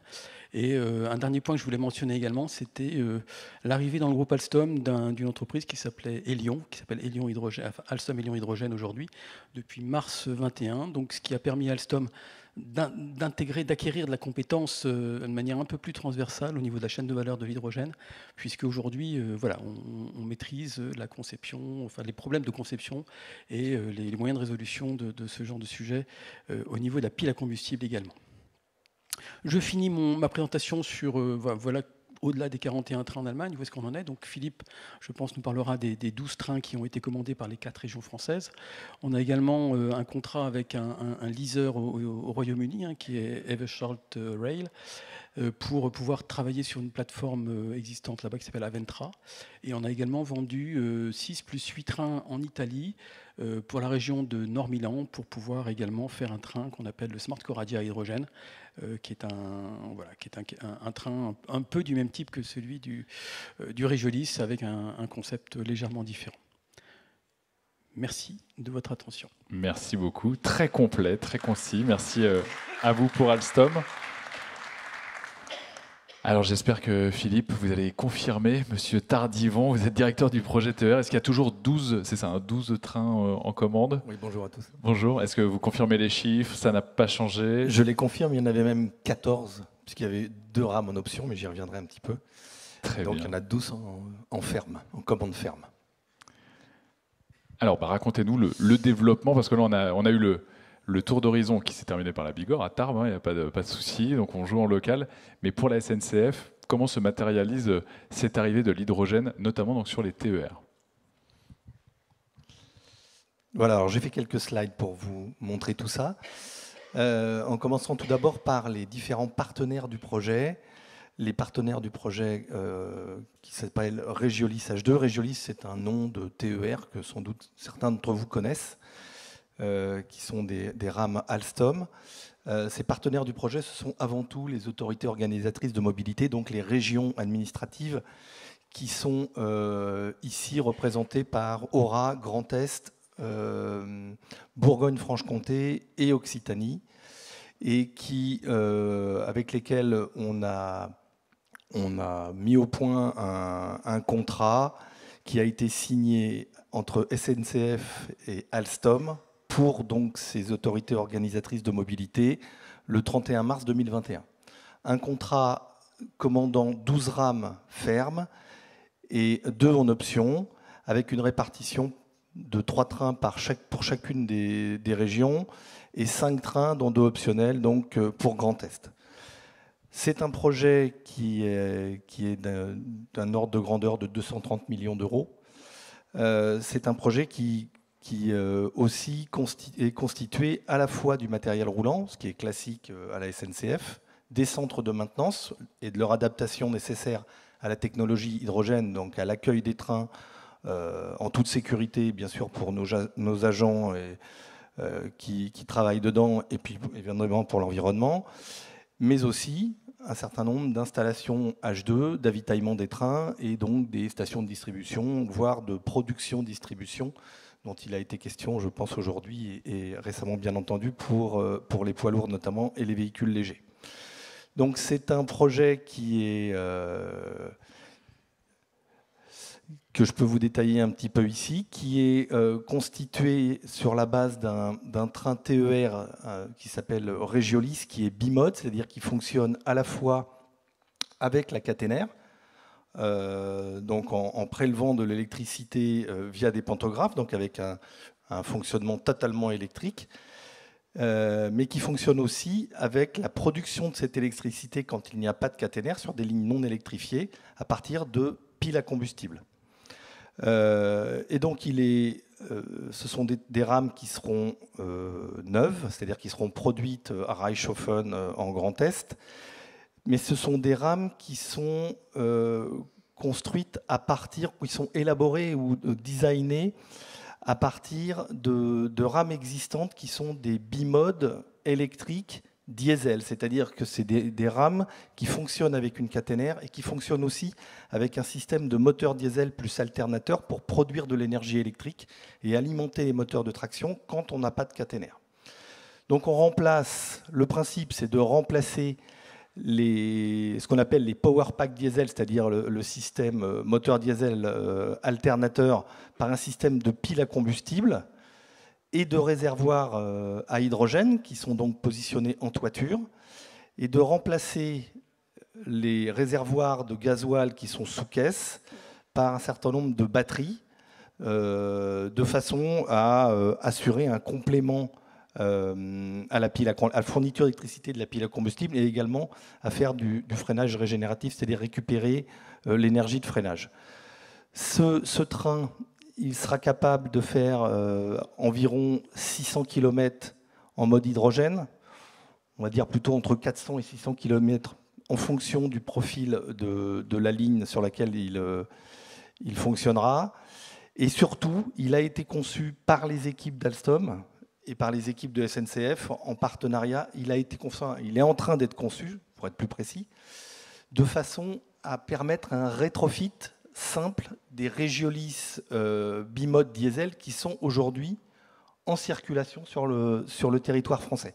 Et ça, il y en a quand même 150 qui sont des Regiolis 4 caisses. Ce train sera un Regiolis 4 caisses. Il y en a aussi environ une centaine qui sont des Regiolis 6 caisses, pour lesquels il nous faudra développer un petit peu, euh, probablement une chaîne de traction supplémentaire pour les rendre H2. Mais aujourd'hui, on s'est focalisé d'abord sur les 4 caisses.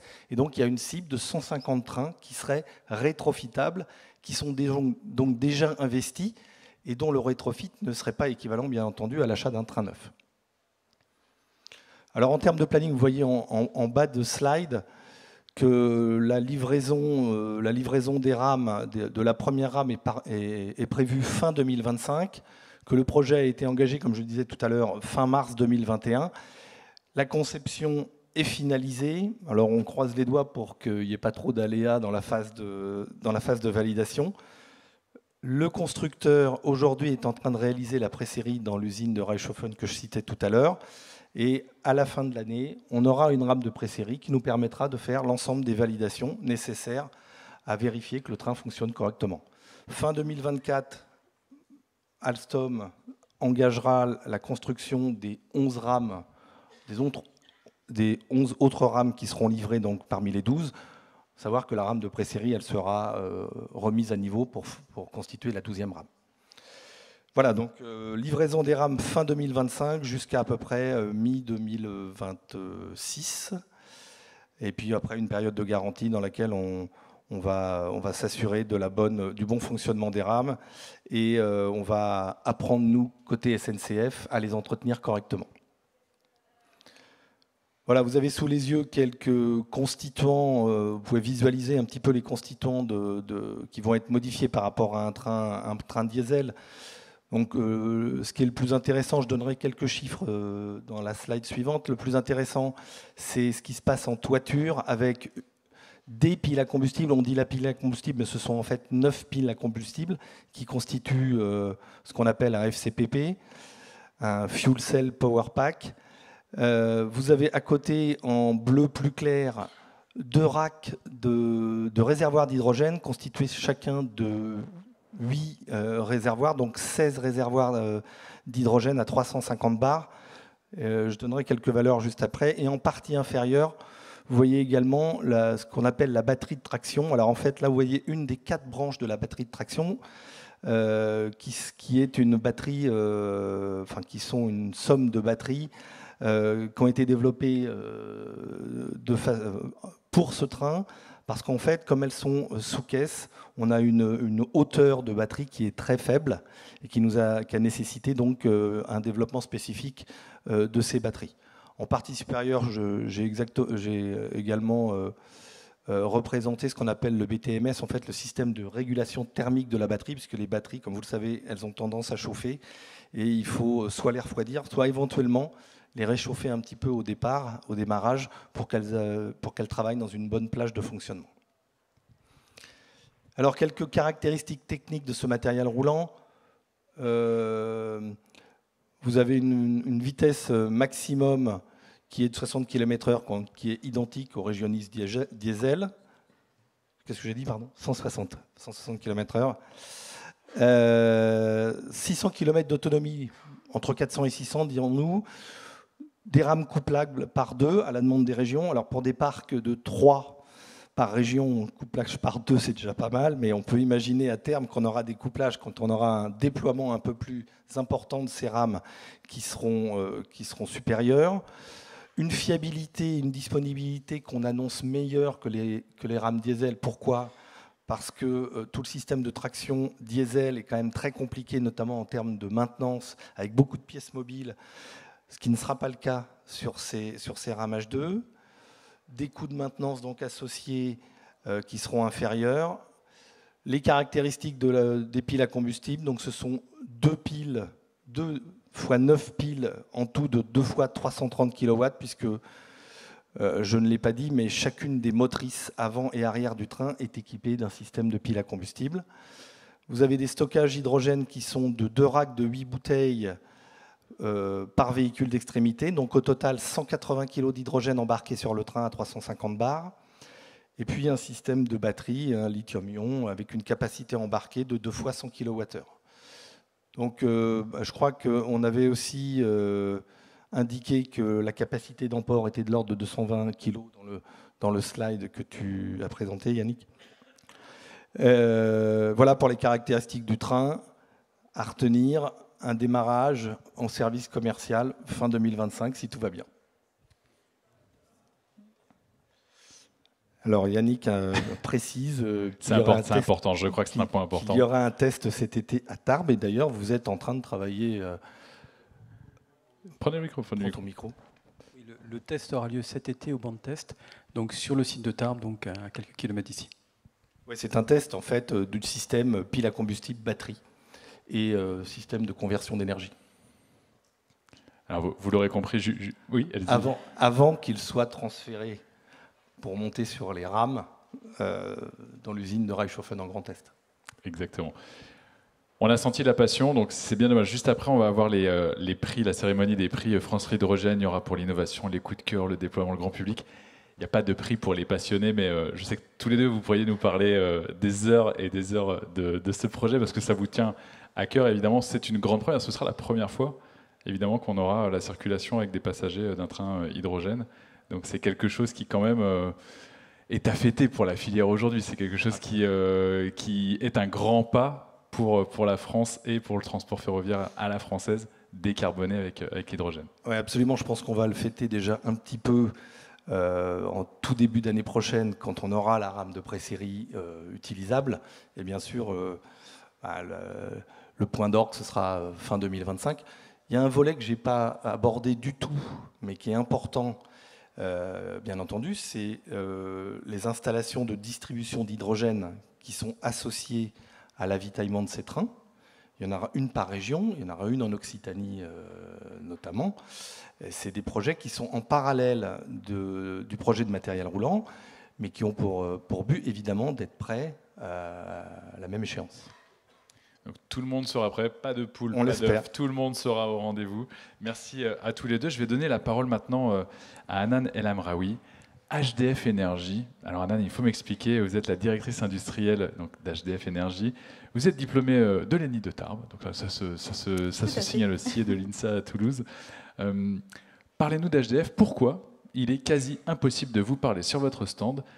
Quelle est l'information que vous transmettez? Quelle est la différenciation que fait HDF Énergie pour avoir autant euh, on va dire, d'appétence autant de personnes qui viennent s'intéresser à, à ce que vous faites? Que faites-vous, Anan oui, alors je vais juste vous prendre le petit.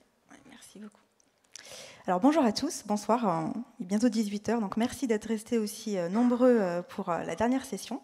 donc HDF Énergie, Hydrogène de France, on est une entreprise française qui est basée à Bordeaux.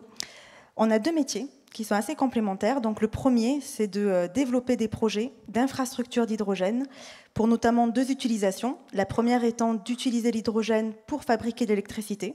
Donc ça, c'est une spécificité euh, qu'on n'en parle pas beaucoup, mais c'est vrai que l'hydrogène permet de stocker massivement les énergies renouvelables et donc de réélectrifier derrière grâce aux piles à combustible.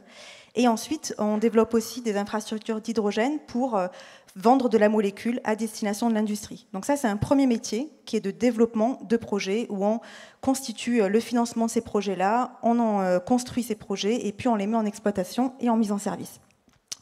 Donc dans ces projets-là, un premier projet qui a été flagship hein, pour HDF, ça a été le projet en, Guyane, euh, qui s'appelle SEOG, euh, qui nous a permis de pouvoir euh, atteindre certains jalons, notamment au niveau de la maturité technologique au niveau de l'hydrogène, hein, que ce soit pour l'électrolyseur ou pour la pile à combustible.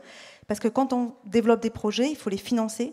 Dans le financement de projets, c'est par de la dette bancaire notamment. Donc il faut démontrer que les technologies sont matures. Donc ça, ça a été un premier jalon qu'a franchi HDF. Et donc le deuxième, c'est le deuxième métier du coup d'HDF, c'est d'être un industriel. Donc en tant qu'industriel, euh, on conçoit et on fabrique des piles à combustible avec une particularité également, c'est pour ça qu'on est aussi nombreux à venir nous voir, c'est qu'on fait de la forte puissance. Donc la forte puissance, euh, si on prend l'exemple du bus euh, aujourd'hui à Pau, Phébus, hein, qui fait 100 kW, nous, dans nos piles, donc le container maritime qu'il y a derrière moi, c'est 1500 kW, donc 15 fois plus puissant que, ce qu'on peut trouver dans le bus euh, à peau. Donc sur ce, sur ce marché-là, donc sur la partie plus industrielle, je vais, je vais plutôt euh, parler de cette partie-là, parce que ça fera derrière après la transition euh, sur le fret ferroviaire, hein, qui est vachement complémentaire avec mes deux copanélistes aujourd'hui. Donc aujourd'hui, HDF euh, est un acteur industriel français sur cette brique pile à combustible. On a notamment lancé notre programme industriel euh, euh, d'une gigafactory de piles à combustible à Bordeaux. Donc c'est vraiment du made in France. On va fabriquer en série ces piles à combustible dans un site qui est assez emblématique, emblématique pardon, à côté de Bordeaux, à Blanquefort. C'est un ancien site de Ford.